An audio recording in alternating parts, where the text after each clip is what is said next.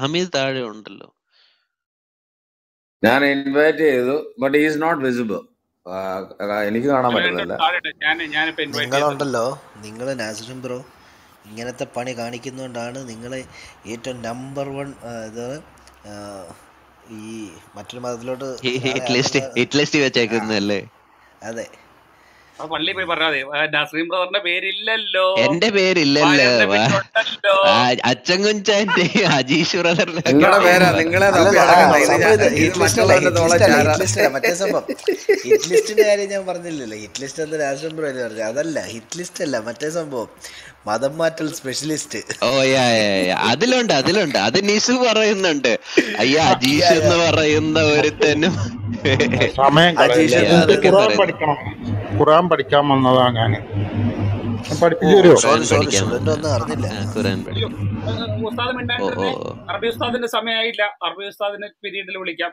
ഇവിടെ പുതിയ സ്റ്റുഡന്റ് വന്നിട്ടുണ്ട്. ഹമീദ് ആ, ഖുറാൻ പഠിക്കാൻ ഹമീദ് എനിക്ക് എനിക്ക് അറിയാം. എനിക്ക് ഒരു കാര്യം അറിയണ്ടേ ഞാൻ ഇന്ന് വായിക്കായിരുന്നേ സൂറ ഇരുപത്തിനാലിന്റെ നാലിനകത്ത് അള്ളാഹു ഒരു കാര്യം പറയുന്നുണ്ട്. നമുക്ക് ആ ഭാഗം ഒന്ന് നോക്കിയാലോ ഹമീദ് എന്നിട്ട് എനിക്ക് കാര്യം ഒന്ന് വിവരിച്ചു തരണം. ഞാൻ ചിരിച്ചിരിച്ച് ഒരു വഴിയായി ഈ കാര്യം തുടക്കം ഇരുപത്തിനാലിന്റെ ഇരുപത്തിനാലിന്റെ തുടക്കം തൊട്ട് വായിക്കാമേ. അതിന്റെ ആ നാം അവതരിപ്പിക്കുകയും പണ്ടാരം ഒരു മിനിറ്റ്. യാ. നാം അവതരിപ്പിക്കുകയും നിയമമാക്കി വെക്കുകയും ചെയ്തിട്ടുള്ള ഒരു അധ്യായം അത്ര ഇത്. ഇത് അള്ളാഹുവിന്റെ ഓക്കെ. നിങ്ങൾ ആലോചിച്ച് മനസ്സിലാക്കുന്നതിന് വേണ്ടി വ്യക്തമായ ദൃഷ്ടാന്തങ്ങൾ നാം ഇതിൽ അവതരിപ്പിക്കാനാണ് അവതരിപ്പിക്കുന്നു. തുടക്കം വായിക്കാം. മീതെ അല്ലെങ്കിൽ താഴോട്ട് തട്ടും. തുടക്കം വായിക്ക് തുടക്കം വായിക്കാൻ ഞാൻ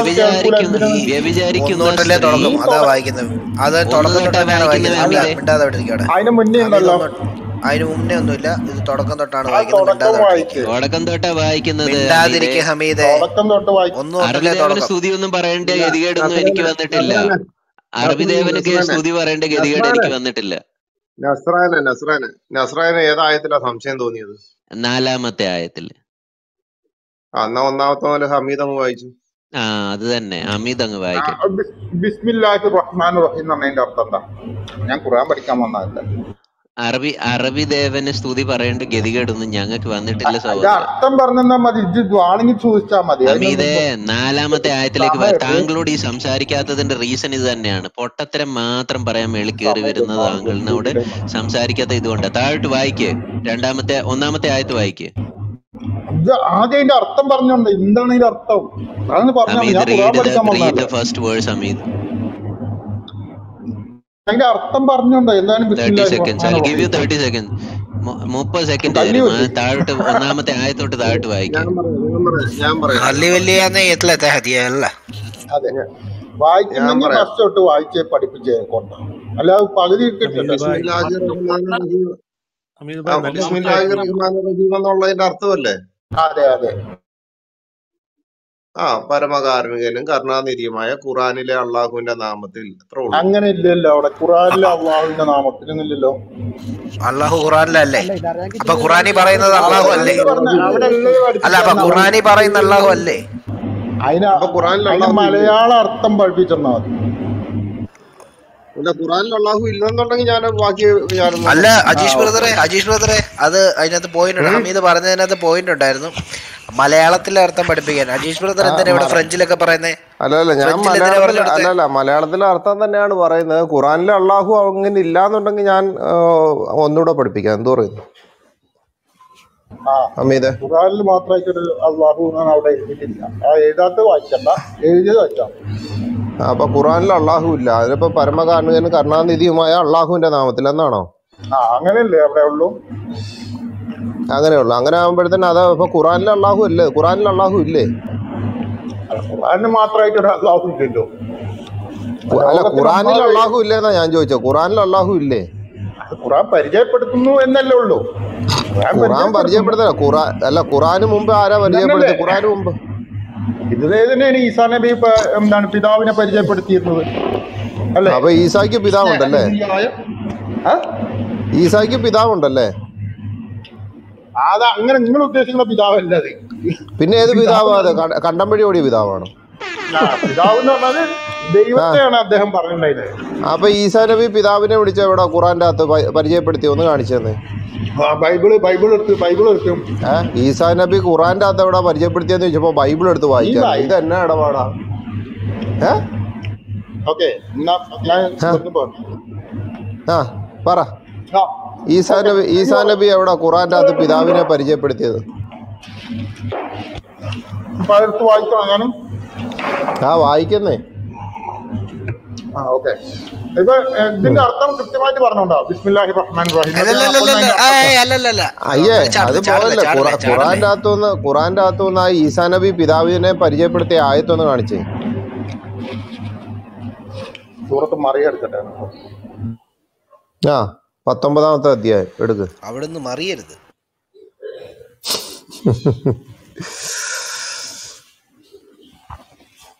എല്ലാരും ശ്രദ്ധിച്ച് കേട്ടോണേ. ഈസാ നബി പിതാവിനെ പരിചയപ്പെടുത്തിയെന്നാണ് കേട്ടോ. ഇവിടെ റീപ്ലേ ഓൺ ആണ് യൂട്യൂബിൽ ലൈവ് പോകുന്നുണ്ട്. അല്ല യൂട്യൂബിൽ ലൈവ് പോകുന്നുണ്ട്. ഫേസ്ബുക്കിൽ ലൈവ് ഉണ്ടാവുമല്ലോ. എന്റെ തന്റെ റബ്ബ് അവന്റെ അടിമ സഹരിയാക്കി ചെയ്ത അനുഗ്രഹത്തെ സംബന്ധിച്ച് പ്രസ്താവന. എത്രാമത്തെ ആയത്ത്? എത്രാമത്തെ ആയത്ത്? രണ്ട് രണ്ട് രണ്ട്. ഏത്? എത്രാമത്തെ ഏ? സൂറത്ത് മറിയം. സൂറത്തും മറിഞ്ഞു ആ പതിനെട്ട് പത്തൊമ്പത്. അതിന്റെ രണ്ട്. ആ പറ. യൂട്യൂബ് യൂട്യൂബിലുണ്ടോ ആ ആദ്യമേ ഒരു യൂട്യൂബിലുണ്ട് യൂട്യൂബിലും ഉണ്ട് ഫേസ്ബുക്കിലും ഉണ്ട് എല്ലായിടത്തും ഉണ്ട് ആദ്യമേ ആ തീറ്റി ഒന്ന് നിർത്ത് എന്നിട്ട് അല്ലെന്നുണ്ടെങ്കിൽ തിന്നു കഴിഞ്ഞതിന് ശേഷം നിങ്ങൾക്ക് അറിയത്തില്ല നിങ്ങളുടെ ഖുറാൻ ആയത്ത് വായിക്കുമ്പോൾ വായിൽ ഭക്ഷണം വെച്ചുകൊണ്ട് ഖുറാൻ വായിക്കരുതെന്ന് നിങ്ങൾക്ക് അറിയത്തില്ലേ ഇവിടെ കണ്ട അണ്ടനും അടകോടനായാലും നിങ്ങൾക്ക് വായിക്കണം. എന്നാലും എഴുതുന്നില്ല ഓക്കെ. ഞാൻ പറയട്ടെ വിഷയം അണ്ടനും അടകോടനും ചെമ്മാനും ചെരുപ്പൂത്തി എഴുതി വെച്ച ഖുറാനല്ലേ ഇപ്പൊ ഹമീദ് വായിക്കാൻ പോകുന്നത്? അതുകൊണ്ട് കുഴപ്പമില്ലാന്നുണ്ടെങ്കിൽ വായിച്ചോളൂ. കാരണം അണ്ടനും അടകോടനും ചെമ്മാനും ചെരുപ്പൂത്തി ഒക്കെ വായിക്കുന്നത്. ഞാൻ പറഞ്ഞത് ഇസ്ലാമിന്റെ നിയമമാണ്. അതറിയത്തില്ലേ? ഇസ്ലാമിന്റെ നിയമം എന്തൊക്കെയാ പറയുന്നത്? ഇസ്ലാമിന്റെ നിയമം അനുസരിച്ച് ആ പുള്ളി ഒന്ന് മ്യൂട്ട് ചെയ്തേ. ഭയങ്കര ശബ്ദം വരുന്നത് ഇസ്ലാമിന്റെ ഒരു നിയമം പറഞ്ഞു കൊടുക്കട്ടെ.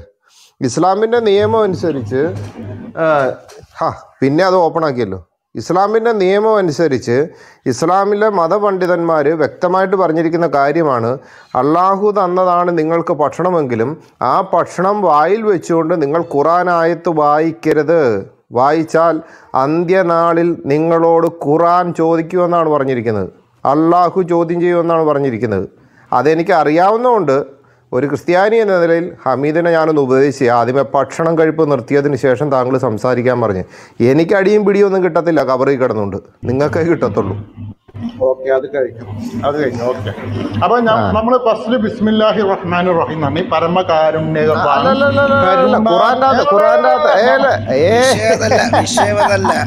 പത്തൊൻപതിന്റെ രണ്ട് വായിച്ചിട്ടൊന്ന് പറഞ്ഞേ ഇത് എവിടെയാണ് ഇത് കൊടുത്തിരിക്കുന്നതെന്നുള്ളത് ആ അള്ളാഹു പിതാവ് പിതാവിനെ ആ ഈസ എടുത്തോ. അവിടെ ഉണ്ട് ബിസ്മില്ലാഹി റഹ്മാൻ റഹീം. രണ്ടിലോ? കരുണാവാനും രണ്ടിലാണോ രണ്ടിൽ ബിസ്മില്ലാഹി റഹ്മാൻ റഹീം. രണ്ടിൽ. അല്ല ആ സൂറത്ത് സൂറത്തിന്റെ സൂറത്തിനകത്ത് കാണും. ഇയാൾ പത്തൊമ്പതിന്റെ രണ്ടെന്നും അല്ലേ പറഞ്ഞത് പത്തൊമ്പതിന്റെ രണ്ട് പറയുമ്പോ പത്തൊമ്പതിന്റെ രണ്ട് വായിച്ചാൽ മതി. ആയിക്കോട്ടെ. അപ്പൊ അവിടെ വായിക്കണം. ഞാൻ പറഞ്ഞ തെറ്റായോണ്ടല്ലേ കയറി പിടിച്ചേ? പത്തൊമ്പതിന്റെ രണ്ടിൽ ബിസ്മില്ലാഹി റഹ്മാൻ റഹീം ഒന്നും ഇല്ല അത് കൈ വെച്ചാൽ മതി. പത്തൊമ്പതിലുണ്ടോ? പത്തൊമ്പതിന്റെ രണ്ടല്ലേ ഇങ്ങനെ വായിക്കുന്നേ? പത്തൊമ്പതിന്റെ രണ്ട് വായിച്ചാൽ മതി. അതെ ഒന്ന് കഴിഞ്ഞിട്ടല്ലേ രണ്ട്. താങ്കളല്ലേ പത്തൊമ്പതിന്റെ രണ്ടെന്നും പറഞ്ഞിട്ട് ഇവിടെ വായിക്കാൻ തുടങ്ങി ആ പത്തൊമ്പതിന്റെ രണ്ട് അങ്ങോട്ട് വായിക്കും. അവൻ അവന്റെ റബ്ബിനെ രഹസ്യമായി വിളിച്ചു പ്രാർത്ഥിച്ചപ്പോൾ അവൻ പറഞ്ഞു എന്റെ റബ്ബെ എന്റെ എല്ല് ബലഹീനമായിരിക്കുന്നു. നരകാരണത്താൽ തല കത്തി തിളക്കുകയും ചെയ്തിരിക്കുന്നു. എന്നോട് പ്രാർത്ഥിച്ചാൽ എന്റെ റബ്ബെ ഞാൻ നിർഭാഗ്യവാനായിട്ട് ഇല്ല. എന്റെ പിന്നിലുള്ള ബന്ധുജനങ്ങളെ ഞാൻ ഭയപ്പെടുന്നു. എന്റെ ഭാര്യയാണെങ്കിൽ വന്ധ്യ ആണ് താനും. അതുകൊണ്ട് നിന്റെ അടുക്കൽ നിന്ന് എനിക്ക് ഒരു ബന്ധുവെ ഒരു അനന്തരാവകാശിയെ എനിക്ക് ദാനം നൽകണമേ. എനിക്കും യാക്കോബ് കുടുംബത്തിനും അനന്തരാവകാശിയായി തീർന്ന ഒരു ബന്ധുവിനെ. എന്റെ റബ്ബെ അവനെ നീ എനിക്കൊരു സുസമ്മനതാക്കുകയും ചെയ്യണമേ. അപ്പൊ നമ്പർ ഏഴ് എത്തിയിട്ടോ? ഞാൻ പറയുന്നത് കേൾക്കുന്നുണ്ട്. എന്നെ മ്യൂട്ട് ചെയ്തോ മുട്ട് മുട്ട് ചെയ്തോ? ഇല്ലല്ലോ? ഓക്കെ ഇനി ഞാൻ ആ ഓക്കെ ഓ സെക്കരിയ നാം നിനക്കൊരു ആൺകുട്ടിയെ പറ്റി സന്തോഷ വാർത്ത അറിയിക്കുന്നു. സെക്കരിയാവിനോട് അവൻ അവന്റെ പേര് യഹ്യ എന്നാണ്. അവന് പേരൊത്ത ഒരാളെയും നാം മുമ്പ് ഉണ്ടാക്കിയിട്ടില്ല. അവൻ ജഗരിയ പറഞ്ഞു എന്റെ റബ്ബെ എങ്ങനെയാണ് എനിക്കൊരു കുട്ടി ഉണ്ടാവുക? എന്റെ ഭാര്യയാണെങ്കിൽ ഭഗ്യതയാണ് ഞാനാണെങ്കിൽ വാർദ്ധക്യത്താൽ ബലഹീനതയിലെത്തിയിട്ടുമുണ്ട് അവൻ പറഞ്ഞു അത് അങ്ങനെ എഴുതിയതുപോലെ വായിക്കുക ഹമീദ് എന്തിനാണ് ഈ വാക്കുകൾ ഞാൻ മാറ്റി പിടിച്ച് നിങ്ങൾക്ക് മാറ്റി പിടിച്ച് വായിക്കുന്നത്? നിങ്ങൾ എടുത്ത് പരിശോധിച്ചോളോ. നിങ്ങൾ നിങ്ങളുടെ പരിശോധിച്ചു നിങ്ങളെടുത്ത് പരിശോധിച്ചോളൂ ഞാൻ തെറ്റായിട്ടാണ് ഞാൻ പരിശോധിച്ചുകൊണ്ടിരിക്കുക. അതുകൊണ്ടല്ല ഞാൻ പറയുന്നത്. താങ്കൾ അമാനും അവരുടെ തഫ്സീറിന്റെ അതിന്റെ അകത്തു അകത്തുനിന്നാണ് വായിക്കുന്നത്. ഞാനത് പരിശോധിച്ചുകൊണ്ടിരിക്കുക അതിന്റെ അകത്ത് പല വാക്കുകളും താങ്കൾ താങ്കളുടേതായിട്ടുള്ള രീതിയിലേക്ക് മാറ്റിക്കൊണ്ടിരിക്കുക എന്തിനാണ് അങ്ങനെ ചെയ്യുന്നത്? അദ്ദേഹം പറഞ്ഞു എന്റെ റബ്ബെ എങ്ങനെയാണ് എനിക്കൊരു കുട്ടി ആൺകുട്ടി ഉണ്ടാകുക? എന്റെ ഭാര്യ മച്ചിയായിരിക്കുന്നു. വന്ധ്യയായിരിക്കുന്നു എന്നുള്ളതല്ല മച്ചിയായിരിക്കുന്നു. ഞാൻ വാർദ്ധക്യത്താൽ വരൾച്ച പ്രാപിച്ചവനും കഴിഞ്ഞു. അങ്ങനെ കറക്റ്റായിട്ട് അതിന്റെ അകത്തുള്ളത് വായിക്കുക. കാരണം പരിഭാഷയിൽ പോലും വാക്കുകളെ കടം ചേർക്കരുതെന്ന് നിങ്ങളുടെ ഇസ്ലാമിക പണ്ഡിതന്മാർ ഖുറാൻ തജ്വീദ് വിജ്ഞാന പുനരുദ്ധാരണം എന്ന് പറയുന്ന പുസ്തകത്തിൽ എഴുതി വെച്ചിട്ടുണ്ട്. ഖുറാൻ ഏത് ഇസ്ലാമിക പണ്ഡിതൻ പരിഭാഷപ്പെടുത്തിയാലും അവരെഴുതിയിരിക്കുന്ന വാക്കുകൾക്ക് അതുപോലെ തന്നെ അർത്ഥം വെച്ച് വായിക്കുക സ്വന്തമായിട്ട് കൈകടത്തുള്ള ഉണ്ടാകരുതെന്ന് പറഞ്ഞിട്ടുണ്ട്. അതും ഒരു ക്രിസ്ത്യാനി എന്ന നിലയിൽ ഞാൻ ഉപദേശിക്കുന്നു അതിന്റെ അകത്ത് എഴുതിയതുപോലെ തന്നെ വായിച്ചോളൂ. ഓക്കെ ഞാൻ കേട്ടുകൊണ്ടിരിക്കുകയാണ്. വായിക്കും ബാക്കി. അല്ല സ്ത്രീ എങ്ങനെ ഞാൻ ആലോചിച്ചുകൊണ്ടിരിക്കുകയായിരുന്നു Ajeesh brother thank you thank you. അല്ല നിങ്ങൾ എല്ലാരും കൂടി അടയ്ക്കാറില്ല. എനിക്ക് സമയമില്ല ഒന്നാമത്. ഞാൻ കൃത്യ സമയത്ത് ഞാൻ മോഡറേറ്ററാണ് ഞാൻ മോഡറേറ്റർ ആണ്. ഞാൻ അജീഷ് ബ്രദറിനോടല്ലേ പറഞ്ഞത്? അപ്പൊ ഹമീദ് ഉള്ളത് ഉള്ളതുപോലെ വായിക്കും. കുത്തിക്കേറ്റാൻ നിൽക്കണ്ട ഇപ്പൊ എത്ര വായിച്ചത്? ഓർമ്മ ഉണ്ടോ ഏഴ് അല്ലേ? അവൻ ഒമ്പത്. അവൻ അള്ളാഹു പറഞ്ഞു അവനെ ഞങ്ങളൊക്കെ ദൈവത്തെ വിളിക്കും. നോക്കൂ നിങ്ങൾ അങ്ങ് അത്രയും ഇതാണ് അടുത്താണ്. എന്റെ റബ്ബ് പറഞ്ഞിരിക്കുന്നു. അത് എനിക്കൊരു നിസ്സാര കാര്യമാണ്. കാരണം റബ്ബ് ദൈവം പറയണേ അത് എനിക്കൊരു നിസ്സാര കാര്യമാണ്. അതെ അതെ അതെ. വായിച്ചാൽ മതി. ഇവിടെ ആരും തഫ്സീറോ വ്യാഖ്യാനോ വേണ്ട. പൊന്ന് ഹമീദ് നിങ്ങൾ പഠിപ്പിക്കല്ലേ? ഖുറാൻ അല്ല അല്ല പഠിപ്പിക്കല്ലേ അല്ല അല്ല അല്ല. നിങ്ങൾ ഇതിന് ഇടയ്ക്ക് കയറുന്നത് ഗബ്രിയലെ ഗബ്രിയലെ. ഗബ്രിയലെ നിങ്ങൾ ഇതിന് ഇടക്കിയായിരുന്നു അദ്ദേഹത്തിന്റെ പുസ്തകത്തെ അദ്ദേഹം വ്യാഖ്യാനിക്കട്ടെ ഒരു കുഴപ്പമില്ല. അതിന് വിപരീതമാണെന്നുണ്ടെങ്കിൽ പുള്ളിയല്ല കബറി കിടന്ന് അടി മേടിക്കുന്നത്. പുള്ളി മേടിക്കട്ടെ നിങ്ങൾ തിരുത്തണം. നിങ്ങൾ പഠിപ്പിക്കാതിരിക്കുന്നവരല്ലേ? ആ അത് തന്നെ. അടി മേടിക്കുന്ന ഞങ്ങളല്ലേ തിരുത്തിയാലും. ഹമീദ് വായിക്കും ഹമീദ. ഉം ഇജ്ജ് കമ്പൂട്ടി ചില സഹോദര. ഞാൻ പറയുന്നത് പിന്നെ നാട്ടുകാർക്ക് കേൾക്കൂല. യാതൊരു വസ്തുതയും അല്ലായിരുന്നിരിക്കെ നിന്നെ ഞാൻ സൃഷ്ടിച്ചിട്ടുണ്ടല്ലോ. അവൻ സക്കരിയ പറഞ്ഞു എന്റെ റബ്ബെ എനിക്ക് നീ ദൃഷ്ടാന്തം നിശ്ചയിച്ചു തരണമേ. നിലയിൽ കേടൊന്നുമില്ലാത്ത ഇരിക്കുന്ന മൂന്ന് രാത്രികൾ നീ ആളുകളോട് സംസാരിക്കില്ല എന്നതാണ് ദൃഷ്ടാന്തം. അങ്ങനെ അവൻ മിഹ്റാബിൽ നിന്ന് പുറത്തു വന്നു വന്ന് തന്റെ ജനങ്ങളോട് അടുത്തു ചെന്നു. എന്നിട്ട് അവൻ അവരോട് ആംഗ്യം കാണിച്ചു നിങ്ങൾ കാലത്തും വൈകിട്ടും സ്വസ്ത്രഗീതം ചെല്ലുവി ആ എന്റെ സ്വാശ്രയത നിങ്ങൾക്ക് മാത്രമേ പറയാൻ പാടുള്ളൂ? അതൊന്നും നോക്കി വായിച്ചേ ഹമീദ്. അല്ല മോനെ സ്വസ്ത്രഗീതം അല്ല അത് അക്ഷരസ്ഫുടത വേണം സ്ഫുടത ആ, ആയിക്കോട്ടെ ആയിക്കോട്ടെ. ആ, ശരി. ഓക്കെ ഓക്കെ പോട്ടെ പോട്ടെ. സ്തോത്ര. ഗീതമല്ല സ്തോത്ര കീർത്തനമാണ്. ആ പ്രത്യക്ഷപ്പെട്ടു. ആ. ചെയ്യുകയും അതായത് അവരോട് സ്തോത്ര കീർത്തനം ചൊല്ലാൻ. അതായത് ദൈവത്തെ കീർത്തി പ്രകീർത്തിച്ച് നിങ്ങൾ പറയാനായിരിക്കും അങ്ങനെ പറഞ്ഞിട്ടുണ്ടാവുക. ഓക്കെ. അതൊരു വ്യക്തി പറഞ്ഞ കാര്യം നമുക്ക് ഒരു റെലവന്റ് അല്ല. ഓ യഹിയ വേദഗ്രന്ഥം ബലമായി പിടിച്ചുകൊള്ളുക. എന്ന് നാം പറഞ്ഞു. കുട്ടിയായിരിക്കെ തന്നെ അവന് നാം വിജ്ഞാനം നൽകുകയും ചെയ്തു. നമ്മുടെ പക്കൽ നിന്നുള്ള അനുകമ്പയും പരിശുദ്ധിയും നൽകുകയും ചെയ്തു. അനുകമ്പ അതായത് സ്നേഹമാണല്ലോ ഈ സാന്നിധ്യം. ഇല്ല ഇടയ്ക്ക് വായിച്ചില്ല ഇടയ്ക്ക് വായിച്ചില്ല ഇടയ്ക്ക് വായിച്ചില്ല. ആ കുട്ടിയായിരിക്കെ തന്നെ അവന് ഞാൻ ജ്ഞാനം നൽകി. അതായത് അല്ലല്ല അതിന് മുമ്പുണ്ട് അതിന് മുമ്പുണ്ട്. ഏ ഹിയാന്ന് വിളിച്ചിട്ട് വേറൊരു കാര്യം കൂടെ പറഞ്ഞിട്ടുണ്ട്. അതുകൂടെ വായിച്ചേ. ആ വേദഗ്രന്ഥം ബലമായി പിടിച്ചുകൊള്ളുക. വേദഗ്രന്ഥം സ്വീകരിച്ചു കൊള്ളുക പിടിക്കുകയല്ലല്ലോ സ്വീകരിച്ചു കൊള്ളുക ആ അത് ആയിക്കോട്ടെ. ഇപ്പൊ ഈ ട്രാൻസ്ലേഷനിൽ നമ്മൾ നോക്കണ്ടെന്ന്. അതിപ്പോ ട്രാൻസ്ലേഷൻ അല്ല ഞാൻ നേരത്തെ പറഞ്ഞല്ലോ ഒരു ഇസ്ലാമിക പണ്ഡിതൻ എങ്ങനെ ഖുറാൻ പരിഭാഷപ്പെടുത്തിയിരിക്കുന്ന ആ വാക്കുകളെ സ്വയം സ്വീകരിച്ച് വായിക്കുക. എന്തിനാ നിങ്ങൾ കയ്യിലേക്ക് എടുത്തിരുന്നത് ആ പറ. ഓക്കെ. ഞാൻ കൈ നിട്ടല്ല എന്തായാലും. ഓക്കെ. കുട്ടിയായിരിക്കെ തന്നെ കുട്ടിയായിരിക്കെ തന്നെ ഞാൻ വിജ്ഞാനം നൽകി. അതായത് ഈസാ നബിക്ക് വിജ്ഞാനം നൽകി. മനസ്സിലായോ. നമ്മുടെ പക്കൽ നിന്നുള്ള അനുകമ്പ. ആ നമ്മൾ പറയാറില്ലേ ഈ യേശു ക്രിസ്തു ഈസാ സ്നേഹമാണ് അനുകമ്പയും പരിശുദ്ധിയും നൽകുകയും ചെയ്തു. അവൻ സൂക്ഷ്മത പാലിക്കുന്നവനായിരുന്നു താനും. ശ്രദ്ധിക്കണം നിങ്ങളെ. മാതിരിയല്ല. ദൈവത്തെ പഠിപ്പിച്ച് വേറെ ആൾ ദൈവാക്കിയല്ല ചെയ്തിട്ടുള്ളത്. പഠിക്കാണ്ട് നിങ്ങൾക്ക്.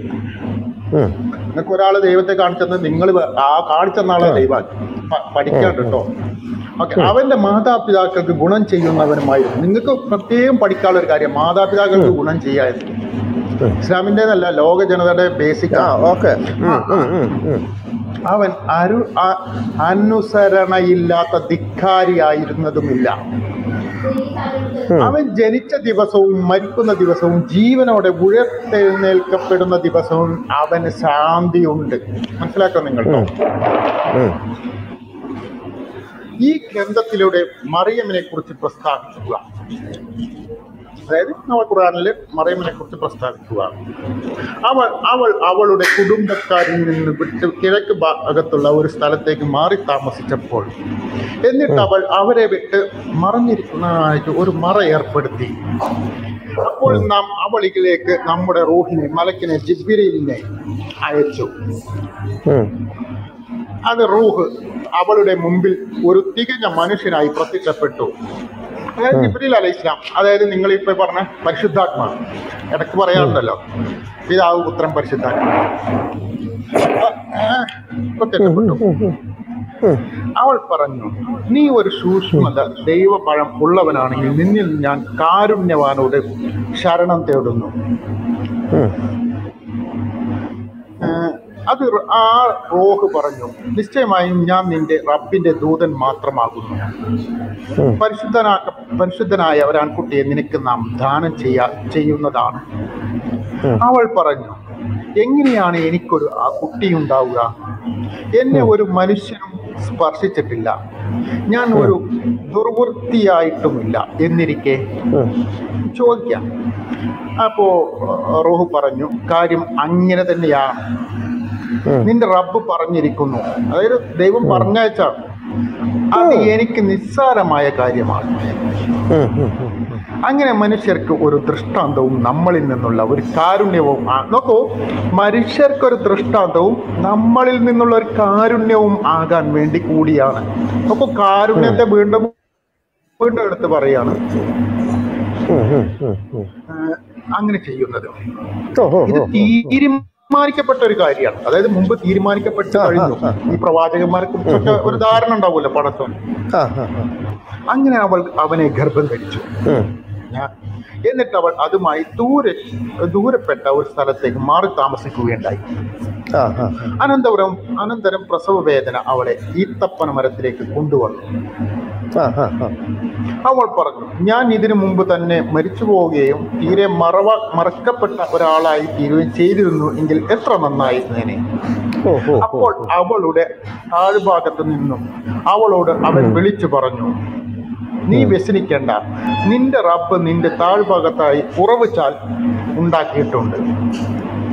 ആ ഈത്തപ്പനയുടെ തടി ഒന്ന് അല്ല. അങ്ങനല്ല അങ്ങനല്ല. നിന്റെ രക്ഷിതാവ് നിന്റെ കീഴിൽ ഒരു മഹാനെ ആക്കി തന്നിരിക്കുകയാണ് എന്ന് പറ. അല്ല ഇവിടെ ഉറവിച്ചാൽ എന്നുള്ളതാണ് അത് അങ്ങനെയാണെന്നുണ്ടെങ്കിൽ നമ്മുടെ ഈ അമാനു അത് സൂറത്ത് പത്തൊമ്പതിന്റെ ഇരുപത്തിനാ പത്തൊമ്പതിന്റെ ഇരുപത്തിനാല് ഇങ്ങനെ ഉടനെ അവൻ അതിന്റെ ചുവട്ടിൽ നിന്ന് അവളെ വിളിച്ചു പറഞ്ഞു വ്യസനിക്കേണ്ട നിന്റെ രക്ഷിതാവ് നിന്റെ കീഴിൽ ഒരു മഹാനെ ആക്കി തന്നിരിക്കുകയാണ്. ആ. ആയിരിക്കും ആയിരിക്കും അങ്ങനെ ആയിരിക്കും. ആ, ഈത്തപ്പനയുടെ തടി നിന്റെ നേരത്തെ പിടിച്ച് കുളിപ്പുക അതായത് ഈത്തപ്പന ഭക്ഷണത്തിന് വേണ്ടിയിട്ട്. അത് നിനക്ക് പുതിയ ഈത്തപ്പഴം വീഴ്ത്തി തരുന്നതാണ്. അങ്ങനെ തിന്നുകയും കുടിക്കുകയും. കണ്ണ് കുളിർത്തിരിക്കുകയും ചെയ്യുക. അത് വെള്ളം തന്നെയാണ് അവിടെ കുടിക്ക കുടിക്കുക എന്ന് പറഞ്ഞിട്ടുണ്ടല്ലോ. വെള്ളം തന്നെ ആയിരിക്കും ഉദ്ദേശിച്ചിട്ടുള്ളത്. ഇനി ഇനി നീ മനുഷ്യരിൽ നിന്ന് ആരെയെങ്കിലും കാണുക ആണെങ്കിൽ അപ്പോൾ ഇങ്ങനെ പറഞ്ഞുകൊള്ളുക. കാരുണ്യവാനാണ് വ്രതം അനുഷ്ഠിക്കാൻ നേർന്നിരിക്കുന്നവരാണ് ഞാൻ. അതുകൊണ്ട് ഇന്ന് ഞാൻ ഒരു മനുഷ്യനോടും സംസാരിക്കുന്നതേ അല്ല. അതായത് അവിടെ ഇരിക്കുന്ന വിശന്നിരിക്കുന്ന ആ ഗർഭധാരണത്തിൽ ഇരിക്കുന്ന സമയത്ത് ആരെങ്കിലും അവിടെ വന്ന് ചോദിക്കണേ അവരോട് സംസാരിക്കണ്ട എന്നാണ് അതിന്റെ അർത്ഥം. പിന്നെ അവൾ അവനോട് എടുത്തുകൊണ്ട് അവളോട് ജനങ്ങളുടെ അടുത്തേക്ക് വന്നു. അതായത് പ്രസവിച്ചു. പ്രസവിച്ചു കഴിഞ്ഞ് കുട്ടീനെ എടുത്ത് ജനങ്ങളുടെ അടുത്തേക്ക് വന്നു. അവർ പറഞ്ഞു മറിയമേ നീ തീർച്ചയായും നീ വിസ്മയമായ വിസ്മകരമായ ഒരു കാര്യം തന്നെയാണ് ചെയ്തിട്ടുള്ളത്. ഹാറൂണിന്റെ സഹോദരി നിന്റെ പിതാവ് ഒരു ചീത്ത മനുഷ്യനായിരുന്നില്ല. നിന്റെ മാതാവ് ഒരു നിർവൃത്തിയായിരുന്നില്ല. അപ്പോൾ അവൾ അവന്റെ കുട്ടിയുടെ നേരെ ചൂണ്ടി. അവൾ ആ കുട്ടി അവർ പറഞ്ഞു ഒരു ശിശുവായി തൊട്ടിലിൽ ഉള്ളവനോട് ഞങ്ങൾ എങ്ങനെ വന്ന് ചോദ്യം ചെയ്തവരോട് ആ കുട്ടിയെ ചൂണ്ടി അവൻ മറുപടി പറയട്ടെ എന്ന രീതിയിൽ ചൂണ്ടിക്കാണിച്ചു. അവൻ കുട്ടി പറഞ്ഞു നിശ്ചയമായി ഞാൻ അള്ളാഹുവിന്റെ അടിമയാകുന്നു. ഈസാ നബിയാണ് പറയുന്നത്. ഞാൻ ആ കുട്ടിയായിരിക്കും തന്നെയാണ് പറയുന്നത്. അവൻ എനിക്ക് വേദഗ്രന്ഥം നൽ തരികയും എന്നെ ഒരു പ്രവാചകനാക്കുകയും ചെയ്തിരിക്കുന്നു. നോക്കൂ പ്രവാചകനാക്കുകയും ചെയ്തു. ഞാൻ എവിടെ ആയിരുന്നാലും എന്നെ അവൻ അനുഗ്രഹീതനാക്കിയിരിക്കുന്നു കാരണം ഈസാ നബി അലൈഹി ഇസ്ലാം എന്ന് പറഞ്ഞു കഴിഞ്ഞാൽ ഞങ്ങൾക്ക് വളരെ ഏറ്റവും വേണ്ടപ്പെട്ട ഒരു പ്രവാചകനാണ്. ഞാൻ ജീവിച്ചിരിക്കുന്ന കാലത്തോളം നമസ്കരിക്കാനും ജക്കാത്ത് കൊടുക്കാനും അവൻ എന്നോട് കൽപ്പിക്കുകയും ചെയ്തിരിക്കുന്നു. ഞാൻ പ്രാർത്ഥിച്ചിട്ടുണ്ട്. എന്റെ മാതാവിന് നന്മ ചെയ്യാനും കൽപ്പിച്ചിരിക്കുന്നു. അവൻ എന്നെ ധിക്കരിക്കുകയും നിർഭാഗ്യവാനും ആക്കിയിട്ടില്ല അതായത് ധിക്കാരിയും നിർഭാഗ്യവാനും ആക്കിയിട്ടില്ല. ഓക്കെ എത്ര മഹത്തരമായിട്ടാണ് നിസാ നബിയെ വർണിച്ചിട്ടുള്ളത് ഞാൻ ജനിച്ച ദിവസവും ഞാൻ മരിക്കുന്ന ദിവസവും ഞാൻ ജീവനോടെ എഴുന്നേൽക്കപ്പെടുന്ന ദിവസവും എനിക്ക് ശാന്തി സമാധാനം ഉണ്ടായിരിക്കുകയും ചെയ്യും. നമ്മൾ നേരത്തെ വായിച്ചതിന്റെ അതേ വാക്കുകളാണ് വീണ്ടും ഇവിടെ പറഞ്ഞിട്ടുള്ളത്. അതാണ് മറി അതാണ് മറിയമ്മിന്റെ മകൻ ഈസ. ശരിയല്ലേ ഞാൻ വായിക്കുന്നത്? അവർ അതിനെക്കുറിച്ച് സംശയതൃപ്തിയിലായിരിക്കുന്നുവോ അതായത് അവർ പിന്നെ ഇനി സംശയത്തിന്റെ കാര്യമില്ല. കുട്ടി തന്നെ സംസാരിച്ചല്ലോ. ഒരു സന്താനത്തെ സ്വീകരിക്കുക എന്നത് അള്ളാഹുവിന് ഒരിക്കൽ ഉണ്ടാകേണ്ടതല്ല. അതായത് പിന്നെ മുപ്പത്തഞ്ചാമത്തെ ആയത്ത് നിങ്ങളോടാണ് സംസാരിക്കുന്നത്. നിങ്ങൾ പറയണ്ടല്ലോ പിതാവിന്റെ പുത്രനുണ്ട് എന്നുള്ളത്. ഒരു സന്താനത്തെ സ്വീകരിക്കുക എന്നത് ദൈവത്തിന് നമുക്ക് അള്ളാഹുവിനെ മാറ്റി വെച്ചാൽ ഇപ്പോൾ അള്ളാഹു എന്ന് പറഞ്ഞ ദൈവമാണ്. ബൈബിളിലൊക്കെ അറബി ബൈബിളിലൊക്കെ അങ്ങനെയാണ്. പൊതുവിൽ അങ്ങനെ എടുത്താൽ തന്നെ ദൈവത്തിന് ഒരിക്കലും ഉണ്ടാവേണ്ടതല്ല. കാരണം അങ്ങനെ നമുക്കൊരു ദൈവത്തിന്റെ ആവശ്യമില്ല. അവൻ എത്രയോ പരിശുദ്ധൻ. അവൻ ഒരു കാര്യം തീരുമാനിച്ചാൽ അതിനോട് ഉണ്ടാവുക എന്ന് പറയുക മാത്രം ചെയ്യുന്നു. മനസ്സിലായി? തീരുമാനിച്ചു കഴിഞ്ഞിട്ട് ദൈവമാണെങ്കിൽ ആ ദൈവത്തിനൊരു കൺസെപ്റ്റ് നമ്മളെ മനസ്സിലൊരു കൺസെപ്റ്റ് ഉണ്ടല്ലോ. അത് ഉണ്ടാവും ഇങ്ങനെ. ആയിരിക്കണം എന്ന് പറഞ്ഞു കഴിയുമ്പോൾ തന്നെ അത് ഓട്ടോമാറ്റിക് ആയിട്ട് ഉണ്ടാവുമ്പോഴാണ് ദൈവമാവുക. ഈസ പറഞ്ഞു നിശ്ചയമായും അള്ളാഹു എന്റെയും നിങ്ങളുടെയും റബ്ബാകുന്നു. ശരിയാണ് ബൈബിൾ എടുത്ത് കാണാൻ കഴിയും. എന്തോ എന്തുവാ? നിശ്ച നിശ്ചയമായും അള്ളാഹു എന്റെയും നിങ്ങളുടെയും റബ്ബാകുന്നു. അതുകൊണ്ട് നിങ്ങൾ അവനെ മാത്രം ആരാധിക്കുകയും ഈസ പറഞ്ഞു എന്നാണ് ഇവിടെ എഴുതിയിട്ടുള്ളത്. അതാണ് അതാണ് ചൊവ്വായ മാർഗം. ശരിയല്ലേ? ഞാൻ വായിച്ച തെറ്റൊന്നുമില്ലല്ലോ? അല്ല? ഇടയ്ക്ക് കുറെ തെറ്റ് വായിക്കുന്നുണ്ടാന്ന് ഈ തെറ്റൊന്നുമില്ലല്ലോ തെറ്റൊന്നുമില്ലല്ലോ എന്ന് ചോദിക്കുന്നത് താങ്കൾ വായിക്കുന്നേ? വായിക്കുന്നേ ആ. എന്റെ എന്റെ അച്ചായ ചോദിക്കല്ലേ ചോദിക്കല്ലേ? അച്ചായ ചോദിക്കല്ലേ? സാധനമാണ്. ഇടയിലുള്ള കക്ഷികൾ ഭിന്നിച്ചു. അതായത് പിന്നീട് അതായത് നബിയുടെ മരണശേഷം അവരുടെ ഇടയിലുള്ള കക്ഷികൾ ഭിന്നിച്ചു. നിങ്ങൾക്കറിയാലോ റോമ ഏത് നബി- നബിയുടെ മരണശേഷം? ഈസാ നബിയുടെ മരണശേഷം ഈസാ നബിയാണ് മരിച്ചു. ഈസ മരിച്ചു മിണ്ടായി ഇത് ആരെ ഇടയ്ക്ക് കയറുന്നത്? എന്നാ പിന്നെ നിങ്ങൾ സംസാരിക്കും. മരിച്ചു വിനിയോഗം നടത്തി. അത്രയ്ക്ക് ബുദ്ധിമുട്ടുള്ള ആരാന്ന് വെച്ച് കഴിഞ്ഞാൽ കയറി ഇതൊരു വിഷയത്തിലേക്ക് കൊണ്ടുവന്നോണ്ടിരിക്കുക ആ പുള്ളി നല്ല രീതിയിൽ അത് കാര്യങ്ങൾ ചെയ്തോണ്ടിരിക്കുകയല്ലേ അതല്ല ഞാൻ ചോദിച്ചു. അപ്പൊ ഈസ മരിച്ചോ ഹമീദ്? ഇല്ല അവിടുന്ന് ദേഹവിനിയോഗം നടത്തിയിട്ടുണ്ട്. എവിടുന്ന്? ആ സ്പോട്ടിൽ നിന്ന് അദ്ദേഹത്തിന്റെ ഉദ്യമം പൂർത്തിയാക്കി കഴിഞ്ഞു. കാരണം അദ്ദേഹം പറഞ്ഞു പ്രവാചകത്വം കഴിഞ്ഞു. കാരണം അദ്ദേഹം ഞാൻ അതിന് മുന്നേ പറഞ്ഞല്ലോ നിശ്ചയമായും അള്ളാഹു അവന്റെ അവന്റെയും എന്റെയും നിങ്ങളുടെയും റബ്ബാകുന്നു എന്ന് പറഞ്ഞ് പ്രവാചകത്വം അദ്ദേഹം അവിടെ പൂർത്തീകരിച്ചു കഴിഞ്ഞു. അവിടെ വെച്ച് മരിച്ചു. അപ്പൊ അവിടെ വെച്ച് മരിച്ചു. എന്ത്? ഈസ മരിച്ചോ? ഇവിടെ എവിടെ മരിച്ചെന്ന് ഞാൻ പറഞ്ഞേ. ഏ അപ്പൊ ദേഹവിയോഗം എന്ന് പറഞ്ഞ എന്തുവാ? ഇല്ല ഞാൻ പിന്നെ പിന്നെ ഞാൻ എന്റെ കയ്യിൽ നിന്നിട്ടാ മരിച്ച പിന്നെ അവരുടെ ഇടയിലുള്ള കക്ഷികൾ ഭിന്നിച്ചു എന്നാണ് ഖുറാനിലുള്ളൂ. ആ പറ. അതെന്താ ഭിന്നിക്കാനുണ്ടായ കാരണം എന്തുവാ? അത് നിങ്ങൾ തമ്മിലുള്ള എന്താണ് സുറിയൻ ക്രിസ്ത്യാനികളൊക്കെ അങ്ങോട്ടും ഇങ്ങോട്ടും ഭിന്നിച്ചില്ലേ ഒരുപാട്? അതായത് സബനിലിസം സബനിലിസം വന്നു. അതേമാതിരി തന്നെ അരിയൂസിന്റെ വാദം വേറെ ആയിരുന്നു. ഒക്കെ അതൊക്കെ നമുക്ക് പിന്നീട് അറിയാമല്ലോ കാര്യങ്ങളൊക്കെ. അത് അത് അതല്ല ഞാൻ ചോദിച്ചത് ഞാൻ ചോദിച്ചതല്ല ഇപ്പൊ ഇവിടെ ഈ പറയുന്ന വിഷയത്തിന്മേൽ ഇവിടെ ഇരുപത്തി മുപ്പത്തി ആറാമത്തെ ആയതിന്റെ അത് നിശ്ചയമായ അള്ളാഹു എന്റെയും നിങ്ങളുടെയും രക്ഷിതാവാകുന്നു. ആകെ നിങ്ങൾ അവനെ ആരാധിക്കും. ഇതത്ര ചൊവ്വായ മാർഗം? ഈ ചൊവ്വായ മാർഗം പറഞ്ഞ് മുപ്പത്തിയേഴാം എന്നിട്ട് അവരുടെ ഇടയിൽ കക്ഷികൾ ഭിന്നിച്ചു. അതിനാൽ ഒരു ദിവസത്തെ കാഴ്ച നിമിത്തം അനുഭവ നിമിത്തം അവിശ്വസിച്ചവർക്ക് നാശം. അന്നേരം ഇപ്പം എന്റെ ചോദ്യം ഇവിടെ വെച്ച് ഈസാടെ ആ ഡ്യൂട്ടി തീർന്നോ?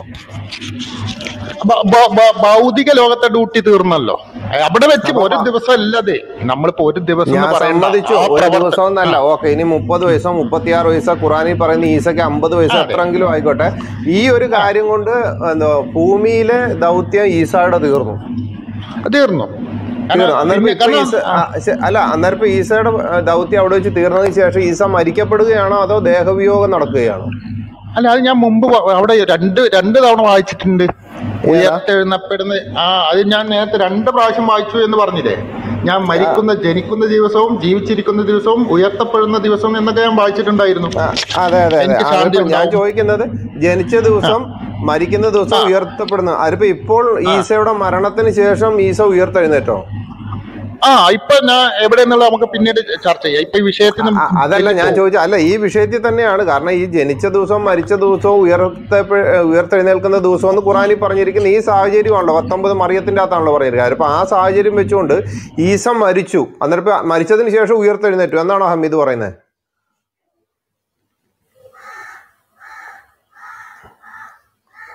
ഹലോ? ഹലോ? ആ പുള്ളി ഉയർപ്പിക്കാൻ പോയി. ഹമീദ് പോയോ. അല്ല ഇത് ആരെ ഇടയ്ക്ക് കയറിയിട്ട് ഈസ മരിച്ചോ എന്ന് ചോദിച്ചാ പുള്ളിക്ക് അപ്പൊ തന്നെ കാര്യം പിടികിട്ടിയില്ലേ? ഏ അല്ല ഹി എന്തിയാ ഹമീദ് പോയോ? ഞാൻ കാണുന്നില്ല. സഹോദരന്മാരെ പോയോ? പോയി. അമീത് ഉയർപ്പിക്കാൻ പോയി. പോയോ? വലിയൊരു പണിയായിപ്പോയല്ലോ അത്. പുള്ളിക്ക് എന്തോ പണി പണി കിട്ടുമെന്ന് മനസ്സിലായി. കാരണം പുള്ളി കൊണ്ടുവന്നുകൊണ്ടിരിക്കുന്ന കാതിയാനി വിശ്വാസത്തിലേക്കാ. അതല്ല മിണ്ടല്ല മിണ്ടല്ലേ എന്ന് പറഞ്ഞ് കാദിയാനികളുടെ സ്ഥാനത്തിലേക്കാണ് കയറ്റിക്കൊണ്ടിരിക്കുന്നത് അവരുടെ വിശ്വാസത്തിന്റെ അടിസ്ഥാനത്തിന്റെ പുസ്തകത്തിലൂടെ പുള്ളി പോയിക്കൊണ്ടിരിക്കുന്നത് ഞാനിവിടെ പുസ്തകം എടുത്ത് വെച്ചിരിക്കുക അതങ്ങനെയായി.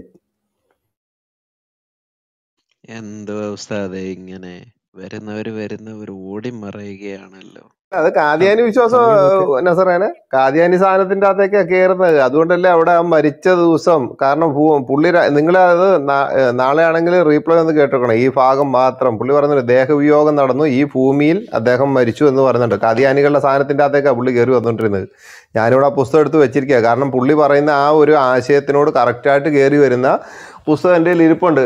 യേശു മസിക കാശ്മീരിൽ എന്ന് പറയുന്ന ഒരു പുസ്തകം ഇരിപ്പുണ്ട്. അതിന്റെ ആ ഒരു സിസ്റ്റത്തിലേക്ക് പുള്ളി കാദിയാനിയാ അത് ചെറിയൊരു സിസ്റ്റത്തിലേക്ക് കയറി വന്നിട്ട് പുള്ളിക്ക് പിടിക്കപ്പെടുമെന്ന് മനസ്സിലായപ്പോഴത്തേനും പുള്ളി മുങ്ങിയതാ.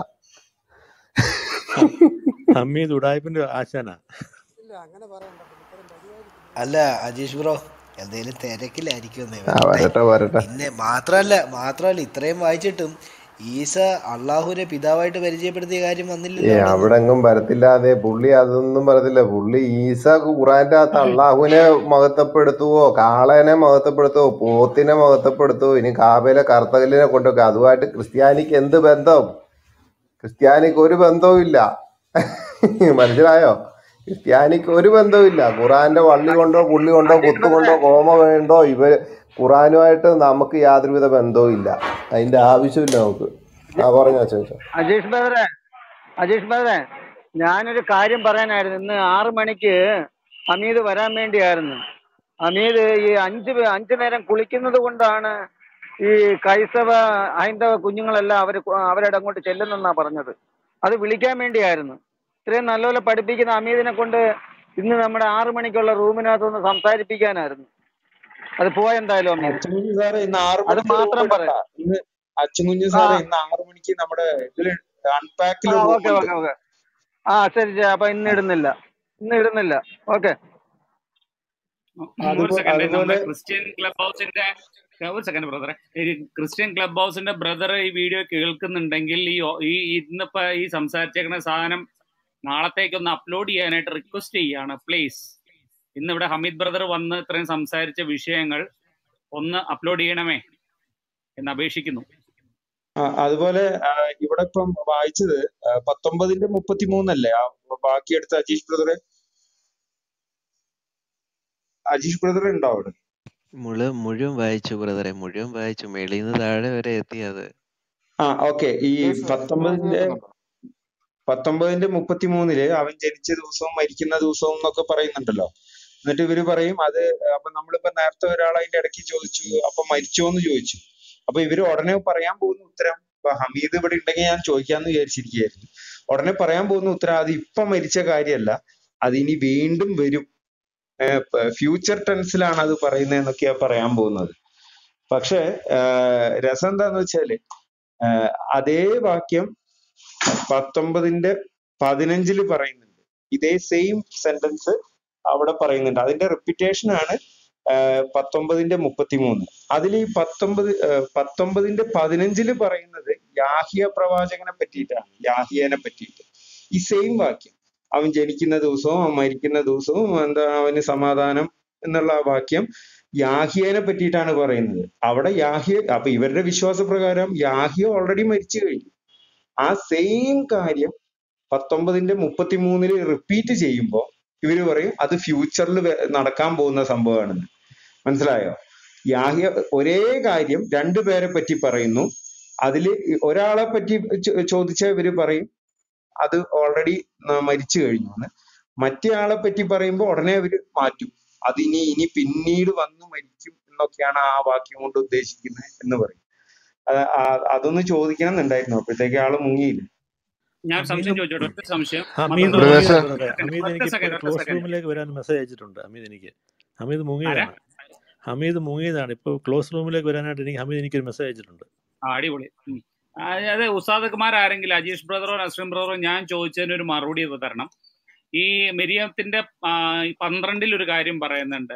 ഹേ യാഹിയ വേദഗ്രന്ഥം ബലമായി സ്വീകരിച്ചു കൊള്ളുക. ഈ പറഞ്ഞ വേദഗ്രന്ഥം ഏതാണ്? ഇത് ഏത് വേദഗ്രന്ഥത്തെ പറ്റിയിട്ടാ പറയുന്നത് അല്ല ചോദിക്കല്ലേ ഞാൻ സീരിയസ് ആയിട്ട് ഞാൻ കളിയാക്കാനല്ല എനിക്ക് അറിയാൻ വേണ്ടി വായിച്ചു വന്നപ്പം ഞാൻ ചോദിച്ചതാണ്. കാരണം ഈ വേദഗ്രന്ഥം ഏതാണ്? തോറയാണോ? ഇഞ്ചിയിലല്ല. അപ്പൊ തോറയ്ക്കും ഇഞ്ചിയിലിനും ഇടയ്ക്ക് യാഹിക്ക് കൊടുത്ത വേദഗ്രന്ഥം ഏതാണ്? അതാർക്കും അറിയത്തില്ല ബ്രദറെ. ഇബ്രാഹിം നബിക്ക് ഒരു വേദഗ്രന്ഥം കൊടുത്തായിരുന്നു നിങ്ങൾക്ക് അറിയാമോ ഇബ്രാഹിം നബിക്ക് കൊടുത്ത വേദഗ്രന്ഥം ഏത് ആർക്കും അറിയത്തില്ല. യാഹിയക്ക് കൊടുത്ത ഗ്രന്ഥം വേദ ആർക്കും അറിയത്തില്ല.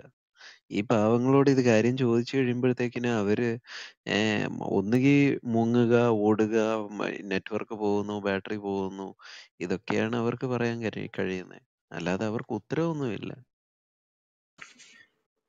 ഈ ബാങ്ക് വിളിക്കുന്ന ഒരു തടസ്സമാണ് കേട്ടോ. അല്ല നസ്രീം ബ്രദർ ഈ പത്തൊമ്പതിന്റെ രണ്ട് എന്തിനാണ് അദ്ദേഹം വായിച്ചു തുടങ്ങിയത്? അതിന് നല്ല ഉത്തരം കിട്ടിയോ? എന്തിനാ പത്തൊമ്പത് രണ്ടിലേക്ക് പോയത്? അതൊന്നും പുള്ളി ഇത് എത്തി വായിച്ചു തുടങ്ങിയത് അതൊന്നും ഈ എത്തിയില്ലെന്നേ സഭയുടെ ഈസാ നബിയുടെ പിതാവാണ് അള്ളാഹു എന്ന് പറഞ്ഞാണ് വന്ന് തുടങ്ങിയത്.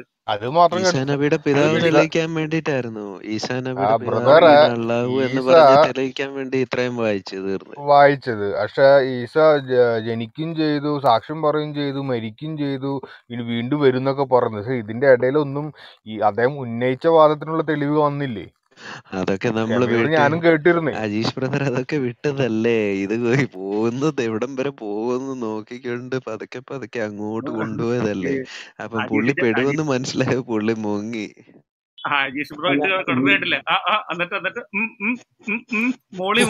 എനിക്ക് അതാണ് ഇഷ്ടപ്പെട്ടത്. ഞാൻ ഞാൻ ചാറ്റ് ഞാൻ ആ പോലെ പറയുകയും ചെയ്ത്. ഉം, ഉം, ഉം, ഉം. അതല്ല ആ എന്നിട്ട് എന്നിട്ട്. ഈ കേട്ടിട്ടുണ്ട് കേട്ടിട്ടുണ്ട്. പത്തൊമ്പതാമത്തെ ചാപ്റ്റർ ഇവർക്ക് ശരിക്കും ഒരു ഊരാ കൊടുക്ക. ഇനിയും ഉണ്ട് ഇതിൽ ഇതിൽ പ്രശ്നങ്ങൾ ഈ ഇപ്പൊ ഈ ഞാൻ നേരത്തെ പറഞ്ഞ രണ്ട് വാക്യങ്ങൾ അതായത് പത്തൊമ്പതിന്റെ പതിനഞ്ചും മുപ്പത്തിമൂന്നും സെയിം വാക്യങ്ങളാണ്. പക്ഷെ ഒന്ന് നമ്മൾ ശരിക്കും ചെയ്യേണ്ടത് എന്താ വെച്ചാൽ ആദ്യം ഇവരോട് ഒന്നും അറിയാത്ത പോലെ പത്തൊമ്പതിന്റെ പതിനഞ്ചൊന്ന് വായിക്കാൻ പറയും. ഇപ്പൊ ഈസാ നബിയുടെ മരണത്തിനെ പറ്റിയിട്ട് ആണ് സബ്ജക്റ്റ് എങ്കിൽ സംസാരിക്കുന്ന സബ്ജക്റ്റ് എങ്കിൽ ആദ്യം ഇവരോട് പറയാ പത്തൊമ്പതിന്റെ പതിനഞ്ച് വായിക്കാം. അപ്പൊ ഇവരിത് വായിച്ച ഉടനെ ഇവർ പറയും ഓ കണ്ട ഇത് ഈ ഇയാൾ മരിച്ചതല്ല അത് ഫ്യൂച്ചറിൽ മരിക്കുന്ന കാര്യാന്നൊക്കെ പറയും. അങ്ങനെ പറഞ്ഞ് കയറി കഴിഞ്ഞിട്ട് കത്തി കയറുന്ന സമയത്ത് പറയാ ഇത് യാഹിയ പ്രവാചകനെ പറ്റിയിട്ടാന്ന് പറഞ്ഞാൽ ഇവർ അതോടുകൂടി ഐസാവും അത് അവിടെ നിൽക്കട്ടെ ഇനിയും ഉണ്ട്. ഈ പത്തൊമ്പതിന്റെ തന്നെ മുപ്പത്തി ഒന്നിൽ പറയുന്നത് അവങ്കിലേക്ക് എടുത്തു എന്നാ പറയുന്നത്. അല്ല അങ്ങനെയല്ല. ഈസ അവിടെ ഈസാ നബി അവൻ മരണം വരെ നിസ്കരിക്കുകയും ചെയ്യും സക്കാത്ത് കൊടുക്കുകയും ചെയ്യും എന്ന് പറയുന്നുണ്ട് ഈസാ നബി പത്തൊമ്പതിന്റെ മുപ്പത്തി ഒന്നാന്നാ എനിക്ക് തോന്നുന്നത്. മരണം വരെ അവന്റെ മരണ ജീവിതകാലം അത്രയും അവൻ നമസ്കരിക്കുകയും സക്കാത്ത് കൊടുക്കുകയും ചെയ്യുന്നു എന്ന് പറയുന്നുണ്ട്. എന്നിട്ടാണ് ഇവർ പറയുന്നത് അള്ളാഹു ഈസാ നബീനെ അവങ്കിലേക്ക് എടുത്തു എന്നാ പറയുന്നത്. ഇസ് ഇവരുടെ ഇതിൽ അത് ഏതാ വാക്യം എനിക്കറിയില്ല. ഈസാ നബീനെ അവങ്കിലേക്ക് അള്ളാഹു അവങ്കിലേക്ക് എടുത്തു എന്നാ പറയുന്നത്. മറ്റൊരു ഇതിൽ പറയുന്നുണ്ട് അള്ളാഹു ഈ സൃഷ്ടികളുടെ പുറത്താണ് ജീവിക്കുന്നതെന്നും പറയുന്നുണ്ട്. അതായത് അള്ളാഹു സൃഷ്ടിക്ക് ഉള്ളിലല്ല സൃഷ്ടിക്ക് പുറത്താണെന്ന്. ഈ സ്വർഗം അടക്കം എല്ലാം അള്ളാഹുവിന്റെ സൃഷ്ടിയാണ്. അപ്പൊ അള്ളാഹു ഇതിലൊന്നല്ല അതിന്റെ മുകളിൽ എവിടെയോ ഒരു സ്ഥലത്താണ് ഇരിക്കുന്നത്. ഈ ഇവിടെ ഒരു പ്രശ്നം വരുന്നത് എന്താന്ന് വെച്ചാൽ ഇസാ നബീനെ അള്ളാഹു അപ്പൊ ഈ സൃഷ്ടിക്ക് പുറത്തൊക്കെയാണ് എടുത്തിട്ടുള്ളത്. മനസ്സിലായോ? അതായത് അള്ളാഹു അവങ്കിലേക്ക് എടുക്കുക ചെയ്തിട്ടുള്ളത്. അതായത് സൃഷ്ടിക്ക് പുറത്താണ് ഇപ്പൊ ഇസാ നബിയും അള്ളാഹും ഈ രണ്ടു പേര് മാത്രമേ ഇപ്പൊ സൃഷ്ടിക്ക് പുറത്തുള്ളൂ. അവരവിടെയാണ് ഇരിക്കുന്നത്. ഈ മാത്രമല്ല മാത്രല്ല ഇസാ നബി മരിച്ചിട്ടുമില്ല. ഈ മരിക്കുന്ന കാലത്തോളം സക്കാത്ത് കൊടുക്കണം. സക്കാത്ത് കൊടുക്കുന്നത് ആർക്കാന്നറിയോ നമുക്ക് നമുക്ക് നമുക്ക് കൂടുതലുള്ളവ ഉള്ള ആൾക്കാർ ഇല്ലാത്തവർക്ക്. അതായത് നമ്മളെക്കാട്ടിലും കുറവുള്ള ആൾക്കാർക്കാണ് നമ്മൾ സക്കാത്ത് കൊടുക്കേണ്ടത് അള്ളാഹുവിന് സക്കാത്ത് അപ്പൊ കൊടുത്തോണ്ട് ഈസ- ആ ഇപ്പൊ ഇസാ നബി വേറെ ആർക്കാ അവിടെ സക്കാത്ത് കൊടുക്കുക ഇസാ നബി ജീവിച്ചിരിക്കുന്ന കാലത്തോളം സക്കാത്ത് കൊടുക്കുകയും ചെയ്യും. അങ്ങനെയാണ് വചനം പറഞ്ഞിട്ടുള്ളത്.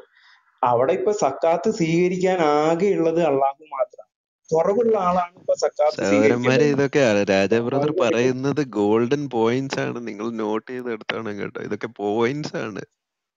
അല്ല അപ്പൊ സക്കാത്ത് ഇപ്പൊ സ്വീകരിക്കുന്നത് അള്ളാഹുവും കൊടുക്കുന്നത് ഇസയാണ്. അതായത് ഇസ അള്ളാഹുവിന് കൊടുത്തോണ്ടിരിക്കുകയാണ് എല്ലാ വർഷവും. സക്കാത്ത് കൊടുത്തോണ്ടിരിക്കുകയാണ് അപ്പൊ ഒന്ന് ആലോചിച്ച് നോക്ക്. അപ്പൊ ഇവർക്ക് ഈ പത്തൊമ്പതാമത്തെ ചാപ്റ്റർ നമ്മൾ ശരിക്കും നന്നായി പഠിക്കേണ്ട ചാപ്റ്റർ ആണ്. അതിൽ ഒരുപാട് കാര്യങ്ങൾ ഇതേപോലെ അജീഷ് ബ്രദറിനോട് പറഞ്ഞ രാജ ബ്രദറെ ഞാൻ നമ്മൾ ഇടയ്ക്ക് ചിന്തിച്ചായിരുന്നു അജീഷ് ബ്രദറിനോട് പറഞ്ഞായിരുന്നു നമ്മൾ ഈ വിഷയം ഈ പത്തൊമ്പതാമത്തെ ചാപ്റ്റർ നമുക്കൊന്ന് പൊളിക്കണം അജീഷ് ബ്രദർ എനിക്ക് ഈ ഈസാ നബിയെ ഒന്ന് പഞ്ഞിക്കിടണമെന്ന് വലിയ ആഗ്രഹം. ഇങ്ങനെ കുറെ വിവരം വിവരക്കേട് അല്ല ഖുറാനിലും ഈസാ ഹദീസിലും ഉണ്ട് നമുക്കൊന്ന് ഈ പുള്ളിയെ ഒന്ന് പഞ്ഞിക്കിടണം. ഈസാ നബീനെ പഞ്ഞിക്കിടുമ്പോ കൊള്ളുന്നത് മുഴുവൻ അള്ളാഹുവിനാണ്. അതെ അതെ അതെ അതെ അതെ. വേറെ ബ്രോ എനിക്ക് ഹമീദ് ഒരു മിനിറ്റ് ഒരു മിനിറ്റ്. മാത്തൻ ബ്രദർ എന്തോ പറയാമോ മാത്തൻ ബ്രദർ കുറെ നേരമായിട്ട് ബ്ലിങ്ക് ചെയ്യുന്നുണ്ടായിരുന്നു. പറയും മാത്തൻ ബ്രദർ. ഒന്ന് പറയുന്നുണ്ട്. അപ്പൊ അതിനെപ്പറ്റി ഒരു ബ്രീഫ് ഇൻട്രൊഡക്ഷൻ തരുമോ കേട്ടില്ല കേട്ടില്ല കേട്ടില്ല കേട്ടില്ല. ഒന്നുകൂടെ റിപ്പീറ്റ് ചെയ്യും. ആദ്യാനിസം എപ്പോഴും എപ്പോഴും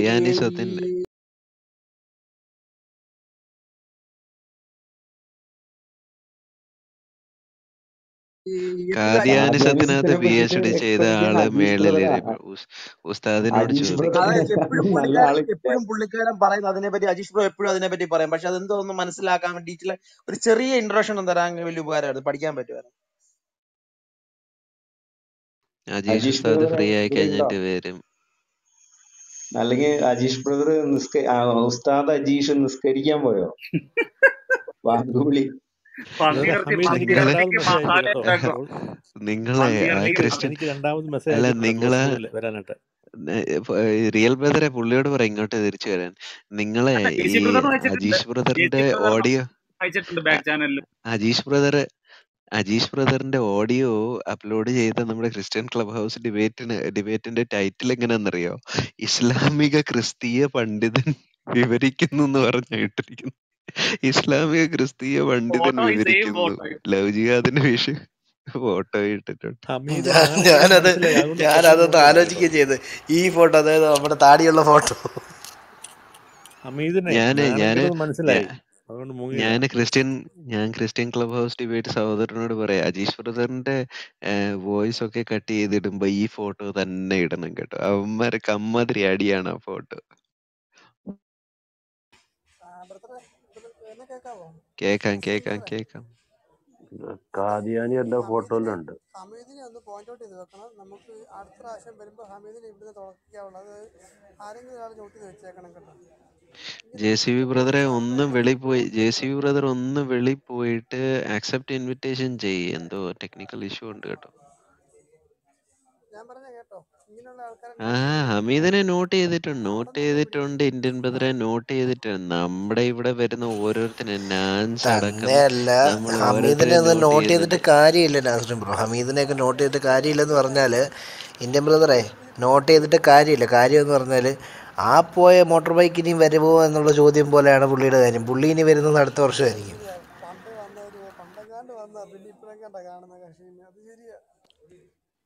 ഹമീദ് എന്നോട് ചോദിക്കുന്നു എന്നെ ആരെങ്കിലും ബ്ലോക്ക് ചെയ്തിട്ടുണ്ടോ? എന്ന് ചോദിക്കുന്നു മെസ്സേജ് അയച്ച്. ഓ തള്ള തള്ള തള്ള. ആരും ബ്ലോക്ക് ചെയ്തിട്ട് തള്ള തള്ള. അല്ല ഇതൊന്ന് ഓൺ റെക്കോർഡ് പ്ലേസ് ചെയ്തേക്ക്. വീണ്ടും ഇതൊന്ന് ഓൺ റെക്കോർഡ് ലെറ്റ് ദിസ് ബ്രദറോട് ബി പറഞ്ഞിട്ടുണ്ട് let this be on record അയാൾ ഇവിടെ നസ്രൻ വന്ന് ബ്രദറെ ഈ ഈ സൂറത്ത് മറിയം ഒരു പഠിപ്പിച്ചായിരുന്നു ഒരു ഇല്ലല്ലോ? മിനിറ്റ് ഒരു മിനിറ്റ് സന്തോഷ് പാസ്റ്റർ ഇല്ല പഠിപ്പിച്ചില്ല. അത് ഇനിയും നമുക്ക് എടുക്കാം അത് എടുക്കാം. ഒരാഴ്ച നമുക്ക് പൊരിച്ചെടുക്കണം ഒരാഴ്ച പൊരിക്കണം. അതെ അതെ അതെ. നമുക്ക് ഇഷ്ടം പോലെ അതിനകത്ത് പഠിക്കാൻ അതിനകത്തെ വാദങ്ങൾ ഇഷ്ടം പോലെ പഠിക്കാനുണ്ട്. ജെ സി ബ്രദർ ഒന്ന് പറഞ്ഞു കഴിയട്ടെ എന്നിട്ട് നമുക്ക് അല്ല let this be on record അദ്ദേഹം ഇവിടെ വന്ന് ഒരായിരം കാര്യങ്ങളെ എയറിൽ കയറ്റിയിട്ട് നമ്മൾ ചോദ്യം ചോദിച്ച് തുടങ്ങിയപ്പോൾ ഇവിടെ നിന്ന് നാണം കെട്ട് മുങ്ങി എന്നിട്ട് ഇപ്പം ആളുകളെ ബാക്ക് ചാനലിൽ വിളിച്ച് ക്ലോസ് റൂമിൽ വരാൻ പറയാണ്. അദ്ദേഹം അദ്ദേഹം പറയുന്നതെല്ലാം അക്ഷരം ആരും ഇൻട്രപ്റ്റ് ചെയ്യാതെ കേട്ടിരുന്നിട്ട് രണ്ട് ചോദ്യം അങ്ങോട്ട് ചോദിച്ചപ്പോൾ നാണം കെട്ട് മുങ്ങി ഇപ്പോൾ ബാക്ക് ചാനലിൽ ആൾക്കാരെ ക്ലോസ് റൂമിലേക്ക് വിളിക്കുകയാണ്. എന്നിട്ട് ഓരോ ഉടായ്പ വർത്താനം പറയുകയാണ് ഇത് റെക്കോർഡ് ചെയ്തിരിക്കട്ടെ. യു എന്നെ മെസ്സേജ് അയച്ചു റൂം മെസ്സേജ് അയച്ചു. ഹലോ പോയോ? ഹമീദ് ഹമീദ് എത്തിയേ ഇവിടെ എന്ന് പറയുന്ന ഒരാൾ ഒരു ഡി പി ഇട്ടിട്ടുണ്ട്. അത് എനിക്കത് ഇസ്ലാം യാതൊരു സമുദായത്തിന്റെ മത നേതാക്കന്മാരെ ഒരിക്കലും അധിക്ഷേപിക്കുകയോ കുറ്റപ്പെടുത്തുകയോ ചെയ്യാത്ത ഒരു പരിശുദ്ധ മതമാകുന്നു ഇസ്ലാം. ആരാ പറഞ്ഞിരിക്കുന്നത് മിർസ ഗുല അഹമ്മദ് ഖാദിയാനി. ഒരു ക്രിസ്ത്യൻ പാതിരിയുമായിട്ട് ഡിബേറ്റ് നടന്നിട്ട് ആ ഡിബേറ്റിന്റെ അകത്ത് ക്രിസ്ത്യൻ പാതിരിയുടെ ചോദ്യങ്ങൾക്ക് മറുപടി ഇല്ലാതെ വന്നപ്പോൾ വാടക കൊലയാളിയെ വിട്ട ടീമാണ് ഈ മിർസ ഗുല അഹമ്മദ് ഖാദിയാനി. അതറിയോ? വാടക കൊലയാളിയെ വിട്ട. ചിലപ്പോൾ മറ്റൊരു മതത്തിന്റെ കാര്യത്തിലും ആൾ ആ ക്രിസ്ത്യൻ പാതിരിയെ കൊല്ലാൻ വേണ്ടി അല്ലെങ്കിൽ മത നേതാക്കന്മാരെ നേതാവായി നിൽക്കുന്ന ആ സഭയുടേതായിട്ടുള്ള നേതാവായിട്ട് നിൽക്കുന്ന ആ ക്രിസ്ത്യൻ പാതിരിയെ കൊല്ലാൻ വേണ്ടി വിട്ട ഇവൻ ഇത് എഴുതാൻ പറ്റുമോ? പത്തിരുപത്തിരണ്ട് വർഷം അതിസാരം പിടിച്ച് തൂറി ചത്തവനൊക്കെയാണ് ഇപ്പൊ പ്രവാചകനായിട്ടിരിക്കുന്നത്. കള്ളക്കൂട്ടങ്ങൾ.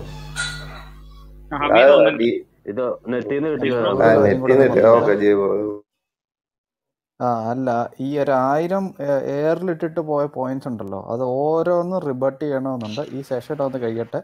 അതിന്റെ സമയം ത- തരുവാ തരുമ്പോൾ നമുക്ക് ഓരോന്നോരോന്നായിട്ട് പൊളിക്കാം. ഇപ്പൊ ജെസി ബ്രോ ഹമീദ് വന്നിട്ടുണ്ട് ഹമീദ് വന്നിട്ടുണ്ട്. ആ ഹമീദിന്റെ വിഷയമല്ലോ നേരിട്ടുണ്ട് എനിക്ക് ഗസ്റ്റ് ഉണ്ട്. അപ്പൊ എങ്ങനെയാണ് ജെ സി ബ്രോ എടുക്കുവാണോ? ആ സംസാരിച്ചോട്ടെ. നിക്ക് നിക്ക് നിക്ക് നിക്ക്. നമുക്ക് ഒന്നേ അല്ല നമുക്ക് ഒന്നേന്നങ്ങ് പിടിച്ചാലോ ജെ സി ബ്രോ? അല്ല അത് കംപ്ലീറ്റ് ചെയ്യട്ടെ സൗകര്യത്തിന് വന്ന് പോയി കംപ്ലീറ്റ് ചെയ്യുന്ന പരിപാടി നടക്കില്ല. എന്റെ സുഹൃത്ത്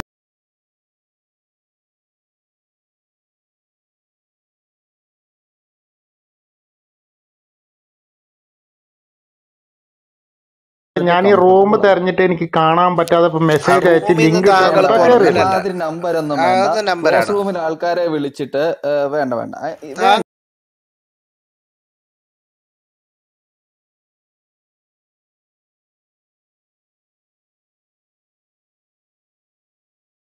ഇവിടുന്ന് പുറത്ത് പോയിട്ട് താങ്കൾ ക്ലോസ് റൂമിൽ ആളുകളെ വിളിച്ചു.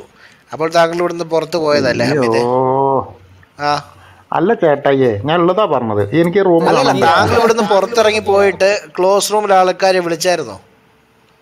സുഹൃത്തെ നിങ്ങൾ അങ്ങനെ ഇന്ന് തെളിയിച്ചു തരാണ് ഞാൻ നിങ്ങളെ മതം സ്വീകരിക്കും. പോരെ? ഓക്കെ. വെറുതെ ഇല്ലാത്തത് ഒരു സെക്കൻഡ് എന്നാ മ്യൂട്ട് ചെയ്തേ? ഒരു സെക്കൻഡ് മ്യൂട്ട് ചെയ്തേ.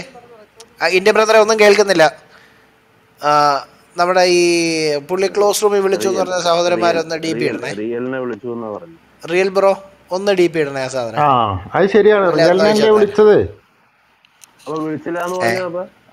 പിന്നെ വിളിച്ചില്ലെന്ന് പറഞ്ഞോ? അപ്പൊ അല്ലല്ല അപ്പൊ മുറുതത്തായിട്ട് ഇങ്ങോട്ട് പോരെ. ഇതിൽ കേറാൻ രാവിലെ ഇതിൽ കേറാൻ വേണ്ടിട്ടാണ് ഇതിൽ കേറാൻ വേണ്ടിട്ട് താങ്കൾ ക്ലോസ് റൂമിൽ വിളിക്കുന്നത് എന്തിനാണ്? സുഹൃത്തെ ഈ റൂം എനിക്ക് കാണാണ്ടായില്ല ഈ റൂം കാണാൻ വേണ്ടിട്ട്. ആ. സമ്മതിച്ചു സമ്മതിച്ചു. ഞാൻ വിചാരിച്ച് മുസ്ലിങ്ങളായിട്ട് ക്ലോസ് റൂം സംസാരിച്ചു എന്നാ നിങ്ങൾ ബ്രദർ പറയുന്നത്. ഓക്കെ ബ്രദർ പറഞ്ഞോളൂ. ബ്രദർ റിയൽ ബ്രദറെ എന്താണ് പുള്ളി പറഞ്ഞത് റിയൽ ബ്രദറെ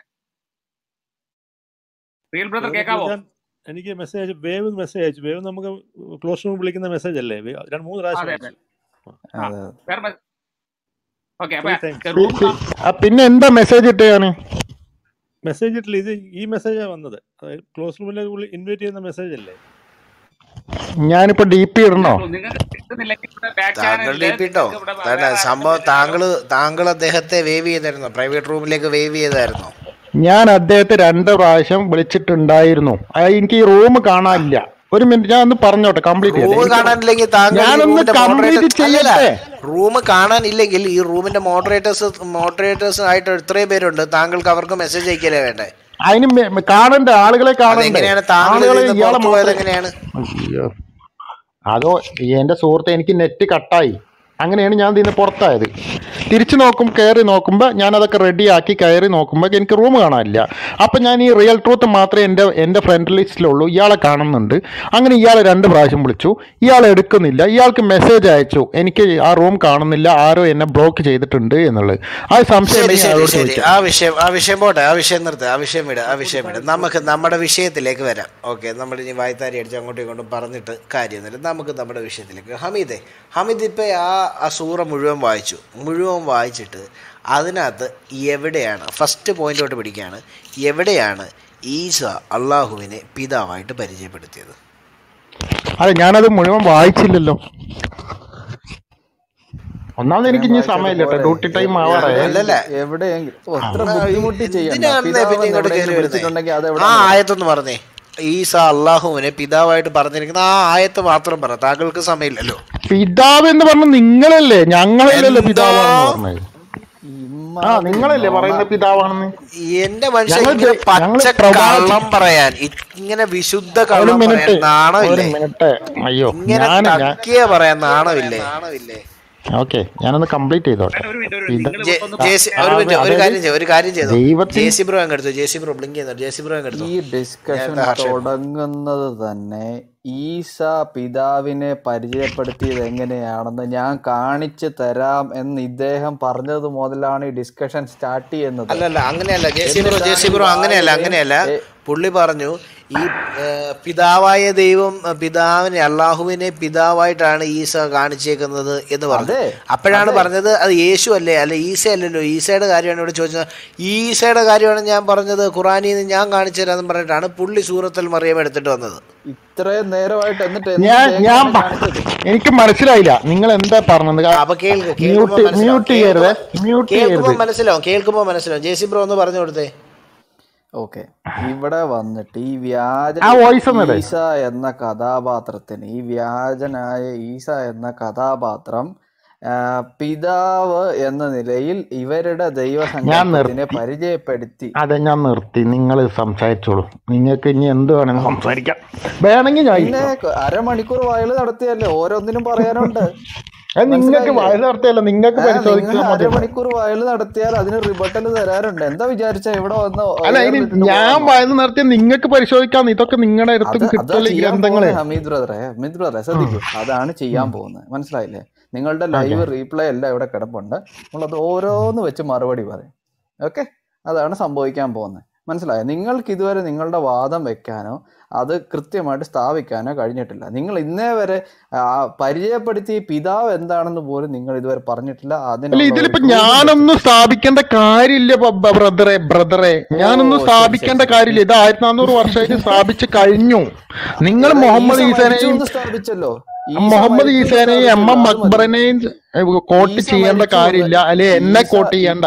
ഞാനൊന്ന് പറഞ്ഞോട്ടെ? സ്ഥാപിച്ചല്ലോ അത് മതി. അത് ധാരാളം സഹോദര താങ്കൾക്ക് സഹോദര ഒന്ന് മൂട്ട് ചെയ്യൂ നിങ്ങൾ കൃത്യമായിട്ട് പറഞ്ഞിട്ടുണ്ട്.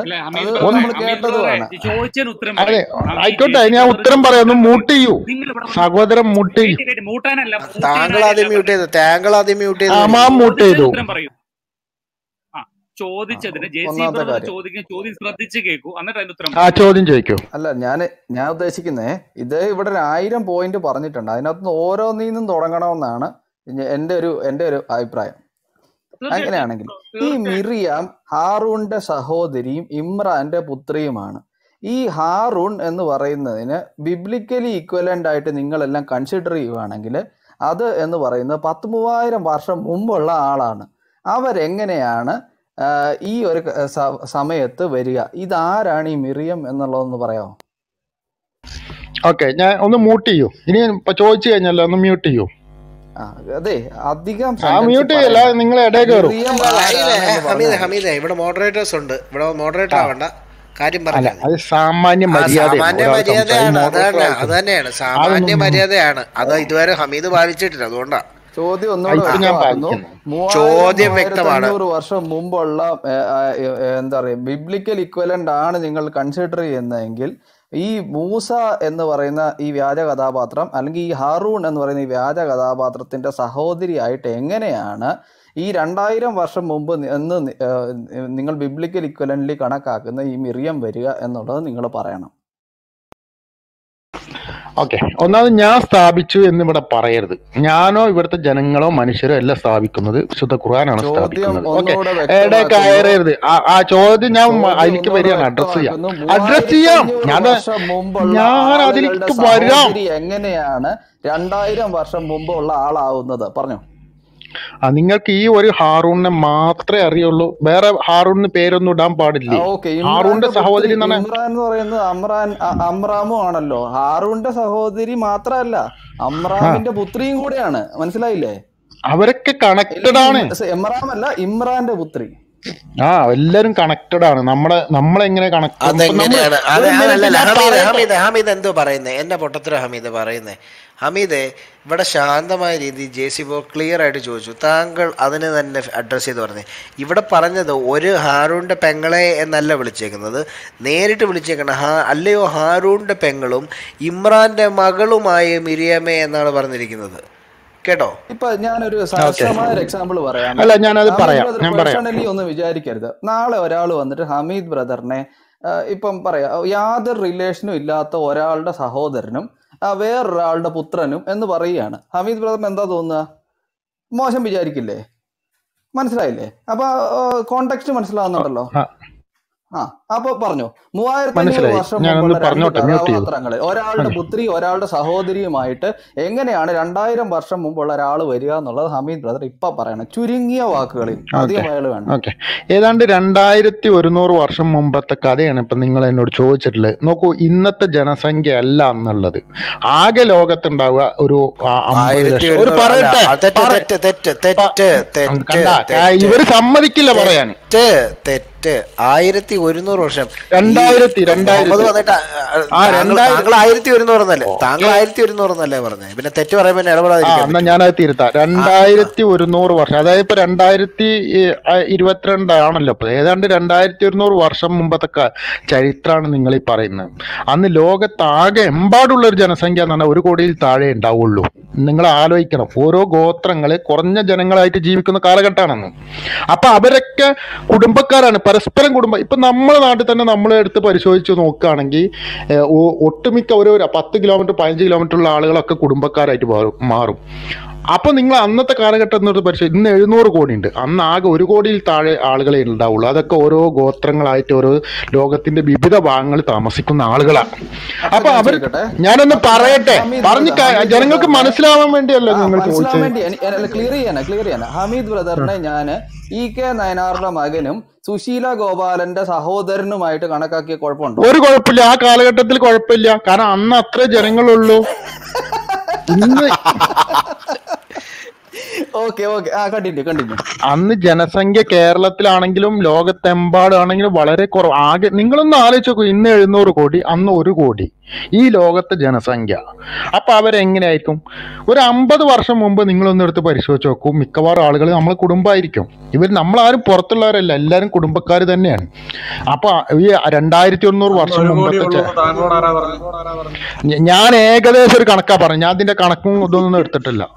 ഏകദേശം കണക്ക് ഒരു കോടി മാത്രമേ ഉള്ളൂ എന്ന് പറഞ്ഞു? എന്ത് പൊട്ടത്തരാ സുഹൃത്തെ? നിങ്ങൾ പറഞ്ഞോളൂ. എത്ര കോടി ഉണ്ടാവുന്ന്? അഞ്ച് കോടിയോ? ഒരു കോടി കോടിയോ? മാത്രമേ ഉള്ളൂ. ഇന്ന് ഇന്ന് ആയിരം അല്ല ബ്രദറെ ബ്രദറെ ബ്രദറെ അത് കുഴപ്പമില്ലാന്ന് നിങ്ങൾ വേണ്ട വേണ്ട. ഹമീദ ഒരു സെക്കൻഡ് ഹമീദ ഒരു സെക്കൻഡ് ചോദ്യം ജെ സി ബ്രദറെ ആവർത്തിക്കുകയാണ് ജെ സി ബ്രദറിന്റെ ചോദ്യം ഒന്ന് പറഞ്ഞു കഴിയുമ്പോൾ ഞാൻ എനിക്കൊരു കാര്യം മൂവായിരം മൂവായിരത്തി അഞ്ഞൂറ് വർഷം മുമ്പുള്ള ഒരാളുടെ മകളായിട്ട് വേറൊരാളുടെ സഹോദരിയായിട്ടും രണ്ടായിരം വർഷം മുമ്പുള്ള ഒരാൾ എങ്ങനെ വരും എന്നുള്ളതാണ് എന്റെ ചോദ്യം. മനസ്സിലായല്ലോ? അതിനകത്ത് ജനസംഖ്യ ഉണ്ടെന്നോ ജനസംഖ്യ ഇല്ലെന്നോ അങ്ങനെയാണെന്നോ ഇങ്ങനെയാണെന്നോ ഇതൊന്നും അല്ല എന്റെ ചോദ്യം. ഒരാളുടെ മകളാണ് ഓക്കെ. ഒരാളുടെ സഹോദരിയാണ്. ഇത് രണ്ട് സംഭവിച്ചിരിക്കുന്നത് മൂവായിരത്തഞ്ഞൂറ് വർഷം മുമ്പാണ്. പക്ഷേ ഈ പറയുന്ന പ്രസ്തുത വ്യക്തി രണ്ടായിരം വർഷം മുമ്പുള്ള ആളാണ്. ഇതെങ്ങനെ സംഭവിച്ചു എന്നുള്ളതാണ് ഹമീദ് ലളിതമായി പറയേണ്ടത്. ഹമീദ് ബ്രദർ. ഈ സഹോദരി എന്ന് മാത്രമല്ല ഹമീദ് ഹമീദ് ഹമീദ് ഒരു കാര്യം കൂടെ. ഈ ഹമീദ് ഇവിടെ വിളിപ്പിച്ചുകൊണ്ടിരിക്കുന്നത് എന്താണെന്നറിയോ ജെ സി ബ്രദറെ? ഈ അമാനു മൗലവി കൃത്യമായി പറയുന്നുണ്ട്. ഈ അമാനു മൗലവിയുടെ തഫ്സീറിൽ കൃത്യമായി പറയുന്നു ഈ ഇമ്രാൻ എന്ന് പറയുന്നത് വേദപുസ്തകത്തിൽ പറഞ്ഞിരിക്കുന്ന മൂസയുടെ അപ്പനായ അമറാമിന്റെ കാര്യമാണെന്ന് കൃത്യമായി രേഖപ്പെടുത്തിയിരിക്കുന്നു. ഇനി ഒരു ജൂയിഷ് ഹിസ്റ്ററിയിൽ ജൂയിഷ് ചരിത്രം അത് വളരെ വ്യക്തമായിട്ട് അവർ റെക്കോർഡ് ചെയ്യുന്ന കാര്യമാണ്. ഈ ഹമീദ് ബ്രദറിന് അറിയില്ലെങ്കിൽ കേട്ടോ. വ്യക്തമായിട്ട് അവർ റെക്കോർഡ് ചെയ്യുന്ന കാര്യമാണ് ജൂയിഷ് ഹിസ്റ്ററി ജൂയിഷ് ഹിസ്റ്ററിയിൽ ഒരാളും വേറൊരാളെ ഒരാളുടെ സഹോദരി എന്ന് വിളിക്കാറില്ല. ഫെമിലിയൽ റിലേഷൻ ഇല്ലാതെ. മനസ്സിലായോ? ഒരു രണ്ട് മൂന്ന് ജനറേഷൻ പഴ മുമ്പുള്ള ഒരാളെ ഒരാളുടെ സഹോദരി എന്ന് ഒരാളും വിളിക്ക വിളിക്കത്തില്ല വിളിച്ചിട്ടുമില്ല. അങ്ങനെ ഒരു ഹിസ്റ്റോറിക്കൽ റെക്കോർഡ് നിങ്ങൾക്ക് ഹാജരാക്കാൻ പറ്റുമെങ്കിൽ നിങ്ങൾ ഹാജരാക്കുക. അതില്ലാത്തടത്തോളം നിങ്ങളുടെ ചോദ്യം വീണ്ടും ആവർത്തിക്കുന്നു. മൂവായിരത്തഞ്ഞൂറ് വർഷം മുമ്പുള്ള രണ്ടാളുകൾ ഒരാൾ ഒരാളുടെ മകളും വേറൊരാളുടെ സഹോദരിയുമായി രണ്ടായിരം വർഷം മുമ്പ് ഉള്ള ഒരാൾ എങ്ങനെ വരും? ചോദ്യം വ്യക്തമായെന്ന് കരുതുന്നു. ആൻസർ ചെയ്തു? ഓക്കെ ലളിതമായി നിങ്ങൾക്ക് അറിയാവുന്നത് മൂവായിരം വർഷം മുമ്പുള്ള ഇമ്രാനെയാണ് എന്നത് എന്റെ കുറ്റമല്ല അത് നിങ്ങൾ പരിശോധിക്കണം. നിങ്ങളെ മറിയമ്മിന്റെ സഹോദരി വേറെ ആരെങ്കിലും ഉണ്ടോ എന്നുള്ളത് നമ്മൾ പരിശോധിക്കണം. കണ്ടെത്തിയ കണ്ടെത്തി. ഇല്ലെങ്കിൽ ഉണ്ടാവില്ല. അപ്പോൾ എല്ലാവരെ കുറിച്ചിട്ടും ഒരു വേദഗ്രന്ഥത്തിൽ പരാമർശിക്കാൻ പറ്റുമോ അവർക്ക് അങ്ങനെ ഒരു സഹോദരൻ ഉണ്ടായിരിക്കും. അതിലെന്താ സംശയമുള്ളത്. പരാമർശിച്ചു എന്നുള്ളതാണ് ഇവിടെ പറയുന്നത്. പരാമർശിച്ചില്ല എന്നല്ല പരാമർശിച്ചു എന്നുള്ളതാണ് ഇവിടെ പോയിന്റ് മനസ്സിലായില്ലേ? ഇമ്രാന്റെ പുത്രിയും ഹാറൂന്റെ സഹോദരിയുമാണ്. മൂവായിരത്തി അഞ്ഞൂറ് വർഷം. നിങ്ങളുടെ ആളുകൾ തന്നെ പറയുന്നത് ഇത് ഹാറൂൺ എന്ന് പറയുന്നത് ബിബ്ലിക്കൽ ഇക്വലന്റ് ആണെന്നാണ്. ഇമ്രാൻ എന്ന് പറയുന്നത് ബിബ്ലിക്കൽ ഇക്വലന്റ് ആണെന്നാണ് നിങ്ങളുടെ അമാനി മൗലവി പറയുന്നത്. അങ്ങനെയാണെങ്കിൽ മൂവായിരത്തി അഞ്ഞൂറ് വർഷം മുമ്പുള്ള ഇവരുടെ മകളായി എങ്ങനെ രണ്ടായിരം വർഷമുള്ള ഒരാൾ പറയും? ഇത് പറഞ്ഞിട്ടില്ല എന്നുള്ളതല്ല പറഞ്ഞിട്ടുണ്ട് എന്നുള്ളതാണ് ഇവിടെ ചോദ്യം. സുഹൃത്തെ ഒരു പേരിന്റെ മുകളിൽ കയറി കൂടണ്ട നിങ്ങൾ. ആ പേര് എന്നൊക്കെ പറഞ്ഞ ഞാൻ പറയട്ടെ? ഞാൻ പറയട്ടെ? കളിക്കാതെ. ഞാൻ ചോദിക്കുന്ന ചോദ്യം ചോദിച്ചല്ലോ? വ്യക്തമാണ്. മൂവായിരത്തി അഞ്ഞൂറ് വർഷം മുമ്പുള്ള രണ്ടാളുകളുടെ ഒരാളുടെ മകളും വേറൊരാളുടെ സഹോദരിയുമായി രണ്ടായിരം വർഷം മുമ്പുള്ള ഒരാൾ എങ്ങനെ വരും എന്നുള്ളതാണ് ചോദ്യം. ഞാൻ പണയട്ടെ നിങ്ങൾ ഞാൻ പണയാൻ സമ്മതിക്കും നിങ്ങൾ നിങ്ങൾ എന്ത് ഇട കയറുന്നത് ഇമ്രാന്റെ നിങ്ങൾ സഹോദരി എന്ന് പണയുവാണ് നിങ്ങൾ നിങ്ങൾ പണയുവാണ്. നിങ്ങൾ പറയുവല്ല. ഇമ്രാന്റെ സഹോദരി എന്ന് പറഞ്ഞു ഇതെങ്ങനെ കൊണ്ടുവരാന്നുള്ള പണിത് പണിത് പണിത് പൊളിഞ്ഞു അല്ല പോകുകയാണ് എനിക്കറിയാവുന്നല്ലേ എനിക്ക് പറയാൻ പറ്റുള്ളൂ. നിങ്ങൾ എന്റെ വാദങ്ങൾ എടുക്കേണ്ട കാര്യമില്ലാന്നേ. നിങ്ങൾക്ക് അറിയാവുന്ന നിങ്ങൾ ഇല്ലാത്ത നിങ്ങൾക്ക് അറിയാത്ത ഇല്ലാത്ത കാര്യങ്ങളല്ലേ നിങ്ങൾ പറഞ്ഞോണ്ടിരിക്കുക അന്ന് ജനസംഖ്യ ഒരു കോടിയെ ഉണ്ടായിരുന്നുള്ളൂ. എടുത്തു വെച്ചോ പറയാ. അത്രയൊക്കെ ആയിരിക്കും. അത് എനിക്കങ്ങനെ അറിയാവുന്ന അന്ന് ആരും ഇത് എന്റെ അഭിപ്രായമല്ലേ? ഇത് താങ്കളുടെ അഭിപ്രായം അങ്ങ് കീശയെ വെച്ചിരുന്ന മുഹമ്മദിന്റെ പോക്കറ്റിൽ കൊണ്ട് വെച്ചാൽ മതി. അതൊന്നും ഇവിടെ വേണ്ട. അഭിപ്രായം ഒന്നും വേണ്ട. ഇവിടെ ഉള്ളത് ഉള്ളത് പോലെ മതി. ഓക്കെ ഞാൻ നിർത്തി. ഓക്കെ നിങ്ങൾ നിങ്ങൾ സംസാരിച്ചോളൂ ഞാൻ ആ പോകുന്നു തോറ്റോടുന്നു പേടിയാണെങ്കി പൊയ്ക്കോ? ഇത്രേ ഉള്ളൂ. അത്രേ ഉള്ളൂ. ഇത്രേ ഉള്ളൂ ഇതിനകത്തെ കാര്യം. അതായത് ആയിരം കാര്യങ്ങൾ എയറിലിടുക. എന്നിട്ട് ഒരു ചോദ്യം കൃത്യമായി ചോദിക്കുമ്പോൾ ഒന്നും പറയാനില്ല എന്ന് പറഞ്ഞു മുങ്ങുക. ഇതാണ് ലൈൻ. ഇങ്ങനത്തെ ആൾക്കാരെ ബേസിക്കലി കൊണ്ടുവരുന്നതുകൊണ്ട് ഒരു ഉപകാരമില്ല കാരണം ആയിരം പോയിന്റ് വെറുതെ എയറിലിട്ടിട്ട് പോവാണ്. ഇത് ഓരോന്ന് ഓരോന്നായിട്ട് പൊളിക്കേണ്ടി വരികയാണ്. ഇതാണ് ഞാൻ ആ സൈഡിൽ നിന്നോ അല്ലെങ്കിൽ ഏറ്റവും അവസാനത്തു നിന്നൊന്നും ഒരു ചോദ്യവും ഇതിന്റെ ഇതിന്റെ നിന്ന് തുടങ്ങണമെന്നേ. അല്ലാതെ ശരിയാവില്ല. അല്ലാതെ ആ ഒരു എന്താ പറയുക ആ ഫ്ലോയും പോകും. കാരണം ഇത് ഓരോന്നോരോന്ന് സിസ്റ്റമാറ്റിക്കലി പൊളിച്ചുകൊണ്ട് വരണം. ഈ മിറിയം ഇറ്റ്സെൽഫ് ആരാണെന്ന് ഇവർക്ക് യാതൊരു ധാരണയില്ല. ഓഡിയൻസ് പ്ലീസ് നോട്ട് ഇതിങ്ങനെയാണ് ഇവർ എഴുതി വെച്ചിരിക്കുന്നത്. മനസ്സിലായില്ലേ? അപ്പൊ അതിനുള്ള എക്സ്ക്യൂസ് അവർ പറയുന്നത് അങ്ങനെ അവിടെ ഒരു ചരിത്രം ഉണ്ടായിരുന്നേക്കാം. എല്ലാം മേ ബി ആണ്. ഒന്നേക്കാം എന്നൊക്കെയാണ്. ഉണ്ടത്രേ ഉണ്ടത്രേ. ഉണ്ടത്രേ. മനസ്സിലായില്ല? പക്ഷെ നമുക്ക് കൃത്യമായിട്ട് അറിയാം ജൂയിഷ് സ്കോളർഷിപ്പിൽ അങ്ങനെ ഒരു കൺവെൻഷൻ ഇല്ല അങ്ങനെ ഒരു കീഴ്വഴക്കം ഇല്ല. രണ്ട് രണ്ട് ജനറേഷനോ പത്ത് ജനറേഷനോ നൂറ് ജനറേഷനോ മുമ്പുള്ള ഒരാൾ ഒരാളുടെ സഹോദരിയാണ് എന്ന് ഒരു ജൂയിഷ് സ്കോളറും പറയില്ല. മനസ്സിലായില്ലേ? അതുകൊണ്ടാണ് ഇത് ലോക പൊട്ടത്തരമാണ് എന്ന് നമ്മൾ പറയുന്നത്. മനസ്സിലായില്ലേ? ഇതിന്റെ തുടക്കം തന്നെ വാളി പിന്നെയല്ലേ ബാക്കി? തുടക്കം തന്നെ പ്രശ്നത്തിലാണ് പിന്നല്ലേ ബാക്കി? ഇവർക്ക് കൃത്യമായിട്ട് അറിയാം ഇത് വെളുപ്പിക്കലെന്ന്. അവർ തന്നെ പറയുമ്പോൾ പറഞ്ഞു വരുന്ന ഭാഗം ഇതാണ്. ഒരു പേരിൽ എന്തിരിക്കുന്നു എന്ന് പറഞ്ഞാൽ ഇത് വേറെ ഇമ്രാൻ ആകാം വേറെ അമ്രാൻ ആകാം അങ്ങനെ പേര് വേറെ ഉണ്ടല്ലോ. പക്ഷെ ബൈബിളിൽ രണ്ട് അമ്രാമേ ഉള്ളൂ. ഒന്ന് എസ്രയുടെ പുസ്തകത്തിലാണ് കിടക്കുന്നത്. എത്രയോ വർഷം ഗ്യാപ്പിലാന്നറിയോ അപ്പൊ അവർക്ക് ഇതുപോലത്തെ മക്കളൊന്നുമില്ല. കൃത്യമായിട്ട് അമാനിമാരുടെ തഫ്സീറിൽ കൃത്യമായിട്ട് ഇത് പഠിപ്പിക്കുന്നുണ്ട്. അതായത് പല തഫ്സീറുകാരും പറയുന്നത് അമ്രാന്റെ ഇമ്രാന്റെ ഭാര്യ ഇവിടെ കൃത്യമായിട്ട് പറഞ്ഞു ഇമ്രാന്റെ ഭാര്യ പറഞ്ഞ സന്ദർഭം. ശ്രദ്ധിക്കണോ അത്? ഇമ്രാന്റെ ഭാര്യ പറഞ്ഞ സന്ദർഭം. ആ ഇമ്രാന്റെ ഭാര്യയാണ് പറയുന്നത് അള്ളാഹു എനിക്ക് പിന്നെ കുഞ്ഞിനെ തന്ന. ആ കുഞ്ഞിനെ ഞാൻ അള്ളാഹുവിന് തന്നേക്കാന്നെല്ലാം പറഞ്ഞത്. ഇത് ഇവർക്ക് പറ്റിയ ഭൂലോക മണ്ടത്തരമാണ്. പ്രൈസലോ അതെ സഹോദരന്മാരെ ഇപ്പൊ ഈ ഹമീദ് രാവിലെ കയറി വന്നത് നിങ്ങൾ എത്ര പേര് പഞ്ചാബി ഹൗസ് സിനിമയിൽ ബോട്ട് തിരിച്ചു ചോദിക്കാൻ പോകുന്ന ഹനീഫയും എന്റെ ഒരു സീൻ ഓർക്കുണ്ടാവും ഗുസ്തി പിടിക്കാൻ വരാൻ വേണ്ടി വിളിക്കുന്ന പോലെ ഉണ്ട് ആ സോണിയ പോന്നോട്ടെ. ആ പോന്നോട്ടെ. ആദ്യത്തെ വാക്യം വായിക്കൂ. ഓ ബിസ്മില്ലാഹി റഹ്മാനി വായിച്ചു പറയൂ. അതെങ്ങനെയാണോ? ലാസ്റ്റ് ദേ ചട്ടിയും കീറി എല്ലാം കീറി ഇതേ പോയി. എങ്ങനെയുണ്ട്? ചവിട്ട് കൊണ്ടുപോയി. ഇതാണ് ഇവരുടെ അവസ്ഥ. അന്ന് കിതാവ് വായിച്ചിട്ട് വരുവാണെങ്കിൽ ബോട്ടിന്റെ സൗണ്ട് ആണോ?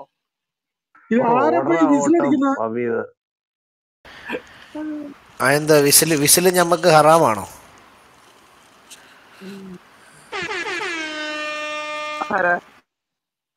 അല്ല ഞാനാണ് ആർക്കെങ്കിലും ഹറാമാണോ ഓക്കെ. അപ്പം ഇതിനകത്ത് ഈ മിറിയാമിന്റെ ഹിസ്റ്റോറിക്കൽ ഹിസ്റ്റോറിക്കലി തന്നെ ഈ മിറിയാമിനെ പ്ലേസ് ചെയ്തിരിക്കുന്നത് റോങ് ടൈം ലൈനിലാണ് അഥവാ മൂവായിരത്തഞ്ഞൂറ് വർഷം മുമ്പാണ് എന്ന്. അന്നത്തെ കാലത്തെ തന്നെ ആളുകൾക്ക് അറിയാമായിരുന്നു എന്നുള്ളത് നമുക്ക് ഇവരുടെ ഹിസ്റ്ററി ഇവരുടെ ഇവരുടെ ലിറ്ററേച്ചർ വായിച്ചാൽ മനസ്സിലാവും.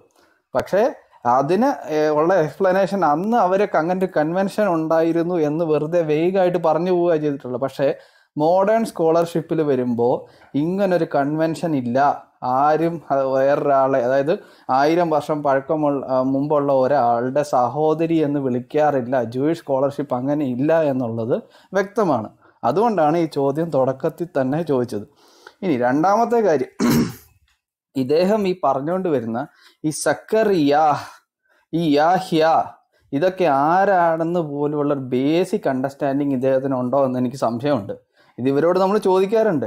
എന്താണ് ഈ സക്കറിയ എന്ന വാക്കിന്റെ അർത്ഥം? ആർക്കെല്ലാം അറിയോ? അത് ഭാര്യ ബ്രദറെ?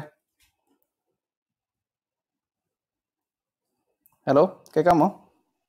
യാഹ്യ എന്ന് പറഞ്ഞു കഴിഞ്ഞാൽ യാഹ്വേ ഇസ് മേഴ്സിഫുൾ എന്നാണ്. സക്കറിയ മൈ ഗോഡ് അല്ല അത് മൈ ഗോഡ് ഇസ് യാഹ് അത് എലിയാഹു അല്ലേ? ആ അത് അത് എലിയാഹു ആണ് മൈ ഗോഡ് ഇസ് യാഹു എന്നുള്ളത്. സെക്കറിയയുടെ മീനിങ് ഞാനിപ്പോൾ പറയാം. ബേസിക്കലി ഇതിന്റെ എൻഡിലുള്ള യാഹ് എന്താണെന്ന് ഇവരെ എക്സ്പ്ലെയിൻ ചെയ്യണം. ഇതാണ് എന്റെ എന്റെ പോയിന്റ് അതാണ്. മനസ്സിലായില്ലേ? ഈ ഇവർ പറയുന്ന ഈ അറബി ദേവൻ ആ റിമെമ്പേഴ്സ് യാഹ്വെ റിമെമ്പേഴ്സ് എന്നുള്ളതാണ് സെക്കറിയാഹിന്റെ മീനിങ് അപ്പോ ഈ സെക്കറിയാഹെന്നും യാഹിയാഹ് യാഹിയാഹെന്നും കൃത്യം പേരുള്ള രണ്ടാളുകൾ എങ്ങനെയാണ് അറബി ദേവന്റെ എന്താ പറയുക പ്രവാചകന്മാരാവുന്നത് എന്ന് ഇവർ പറയാൻ തയ്യാറാവണം. അങ്ങനെയാണെങ്കിൽ അവർക്ക് സക്രി എന്നോ വല്ലതും കൊടുത്താൽ പോരായിരുന്നോ? ഇയാൾക്ക് എന്നോ ഒന്നും അല്ലല്ലോ വന്നിട്ടുള്ളത്. അപ്പോൾ കാര്യങ്ങളെല്ലാം അമ്പയെ പരാജയപ്പെടുന്നത് എന്താ പറയുക തുടക്കം മുതൽ അടപടലം പൊട്ടലാണ്. മനസ്സിലായില്ലേ? അതാണ് പറയാൻ ശ്രമിക്കുന്നത്. ഈ ക്വസ്റ്റ്യൻ അപ്പോസ്റ്റേറ്റ് പ്രോഫിറ്റ് ഇവർ കുറച്ച് ദാവാക്കാരോട് ചോദിച്ചതാണ്. അപ്പോൾ അവരവിടെ കിടന്ന് ഉരുണ്ട് കളിക്കുകയാണ്. അവർ അതിനെ തള്ളാൻ നോക്കുന്നു കൊള്ളാൻ നോക്കുന്നു ഇകഴ്ത്തി കാണിക്കാൻ ശ്രമിക്കുന്നു. പക്ഷെ ഇവർ ആ, സത്യദൈവത്തിനെ ഇകഴ്ത്തി കാണിക്കാൻ ശ്രമിച്ചാലും അവസാനം പണി കിട്ടുക അവർക്ക് തന്നെയാണ്. കാരണം എന്താണ്? സക്കറിയാഹും യാഹ്യായും ഒക്കെ ഇവരുടെ പ്രവാചകന്മാരായിരിക്കുന്നിടത്തോളം കാലം ഇവർക്ക് സത്യദൈവത്തിനെ ഇകഴ്ത്തി കാണിക്കുമ്പോൾ ഇവർ പറയുന്നത് ഈ വന്ന ആളുകൾ ഈ- ഇകഴ്ത്തി കാണിക്കുന്ന സത്യദൈവത്തിന്റെ ആളുകളാണ് എന്നാണ് ഇവർ പറയാൻ ശ്രമിക്കുന്നത്. ഡയറക്ട്ലി ഓർ ഇൻഡയറക്ട്ലി ഇത് അറിഞ്ഞുകൊണ്ട് മൂടി വെക്കും ചില ദാവാക്കാർ അല്ലെങ്കിൽ അറിയാതെ സംസാരിക്കും. ഈ രണ്ട് ഓപ്ഷൻസ് ആണ് ഇതിനകത്തുള്ളത്. മനസ്സിലായില്ലേ? അപ്പോൾ അടപടലം പൊട്ടുന്ന ഫസ്റ്റ് സ്റ്റേജാണ് ആണ് മിറിയത്തിന്റെ ഹിസ്റ്റോറിസിറ്റി ഒന്ന്. രണ്ടാമത് ഈ പറ- പറഞ്ഞ പ്രസ്തുത സെക്യൂറിയ ആൻഡ് യാഹിയ. ഈ രണ്ട് പേരും ആരെ പ്രതിദാനം ചെയ്തു എന്നുള്ളത് അവരുടെ പേരുകളിൽ നിന്ന് തന്നെ വ്യക്തമാണ്. മനസ്സിലായോ? അടിച്ചു മാറ്റിയപ്പോൾ മൊത്തമായിട്ട് അടിച്ചു മാറ്റാതെ അവിടുന്ന് ഇവിടുന്ന് അടിച്ചു മാറ്റിയതിന്റെ ഒരു പ്രശ്നമാണ് ഈ ഹിസ്റ്റോറിക്കൽ എററും അതുപോലെ തന്നെ ഈ ഒരു യാഹിയ എന്നുള്ളതും സക്കറിയ എന്നുള്ളതും അതേപടി അവിടെ കിടക്കുന്നു. ഇനി മൂന്നാമത് പുള്ളി പറഞ്ഞ എന്താ? എന്താ ഈന്തപ്പനെ പിടിച്ച് കുലുക്കിയെന്നോ? ഓ അത് അതൊക്കെ എന്ത് പറയാനാണ്? ഒരു സ്ത്രീ എന്താ പറയുക ഗർഭിണിയായിരിക്കുന്ന ഒരു സ്ത്രീ ഈന്തപ്പനെ പിടിച്ച് കുലുക്കി എന്നൊക്കെയുള്ള ഓക്കെ ഇതൊക്കെ അന്നത്തെ കാലത്തെ ഈ പാഷണ്ട ഗോസ്പെൽസിൽ നിന്ന് കോപ്പി അടിച്ചതെന്നുള്ളതിന്റെ ഹിസ്റ്റോറിക്കൽ റെക്കോർഡ്സ് ഓൾറെഡി ഉണ്ട്. എന്താ പറയുക ഫോർത്ത് ഫിഫ്ത്ത് സെഞ്ചുറീസിലെ അങ്ങനത്തെ പല സിനോപ്റ്റിക് ഗോസ്പൽ ഗോസ്പെൽസ് അങ്ങനത്തെ ഇതിനകത്തുനിന്ന് ഡയറക്റ്റ് ആയിട്ട് കോപ്പി അടിച്ചതാണെന്നുള്ളത് വളരെ വ്യക്തമാണ്. നമുക്ക് കേരളത്തിൽ തന്നെ ഇതൊക്കെ വാങ്ങിക്കാൻ കിട്ടും ഇതിന്റെയൊക്കെ പബ്ലിക്കേഷൻസ്. വെറുതെ ഹിസ്റ്റോറിക്കൽ റെഫറൻസസിന് വേണ്ടി പബ്ലിഷ് ചെയ്യുന്നുണ്ട്. കോട്ടയത്ത് നിന്ന് തന്നെ തിങ്ക് പബ്ലിഷ് ചെയ്യുന്നുണ്ട്. അതൊക്കെ വാങ്ങിക്കാൻ കിട്ടും. അപ്പോൾ ചുരുക്കി പറഞ്ഞു കഴിഞ്ഞാൽ ഇത്രേ ഉള്ളൂ. ഈ കഥ ഈ ഫുൾ കഥ എന്ന് പറയുന്നത് അങ്ങോ അവിടുന്നും ഇവിടുന്നും അടിച്ചു മാറ്റിയതും കേട്ടറിഞ്ഞതുമായിട്ടുള്ള ഒരു ഒരു ഒരു ലക്ഷണറിയിൽ ലക്ഷണറി ആയിട്ട് എഴുതി എഴുതി എഴുതിയെടുത്ത ഒരു സാധനമാണ് ഈ ഈ പറയുന്ന ഫുൾ കഥ. ഇനി ഇതിനകത്താണെങ്കിൽ കൂടി ഞാൻ മുമ്പ് പറഞ്ഞല്ലോ അതായത് ആ ഒരു സെക്കൻഡ് ഈ ഇരുപത്തൊമ്പത് അൽ അൻകബൂത്ത് ഒന്ന് വായിക്കുക നസ്രീൻ ബ്രദറെ. ഇരുപത്തൊൻപത് നാൽപ്പത്തി ആറ് ഒന്ന് കിടക്കാൻ കിടന്നേ കേട്ടോ. ആ Bible okay okay. Brother okay വായിക്കണേ. ആ ഓക്കെ ഓക്കെ ഓക്കെ ഓക്കെ. ആ അപ്പം ഇതിനകത്ത് ഒമ്പത് മുപ്പത്തൊന്നും ഒമ്പത് മുപ്പത്തൊന്നിൽ they have taken the rabbis and their monks as gods besides അല്ല and the messiah the son of Maryam എന്നുള്ളിടത്ത് ഇവർ ബ്രാക്കറ്റ് മാറ്റിയിട്ടിട്ടാണ് ഈ ഇവരതിനെ വെളുപ്പിച്ചിരിക്കുന്നത്. അത് ശ്രദ്ധിച്ച് മനസ്സിലാക്കുക ഒറിജിനലി ഇവർ ഇതിനകത്ത് എഴുതിയിരിക്കുന്നത് ഗോഡ്സ് ബിസൈഡ്സ് അല്ല ആൻഡ് ദ മെസ്സേജ് അത് രണ്ടുപേരും എന്താ പറയുക അത് ഇക്വലന്റ് ആണെന്നുള്ള സങ്കല്പം അവിടെ തന്നെ കിടപ്പുണ്ട്. ഒൻപത് മുപ്പത്തൊന്നിൽ രണ്ട് ഇരുപത്തൊൻപത് നാൽപ്പത്തി ആറിനകത്ത് അതായത് ഏത് ക്രിസ്ത്യാനിയോട് ചോദിച്ചാലും ഈശോ ദൈവമാണ് എന്ന് പറയുമെങ്കിൽ പറയും. അപ്പോൾ അങ്ങനെയാണെങ്കിൽ ഇവരുടെ ദൈവസങ്കല്പം പറയുന്നത് ഞങ്ങളുടെ ദൈവവും നിങ്ങളുടെ ദൈവവും ഒന്ന് തന്നെയാണെന്നാണ്.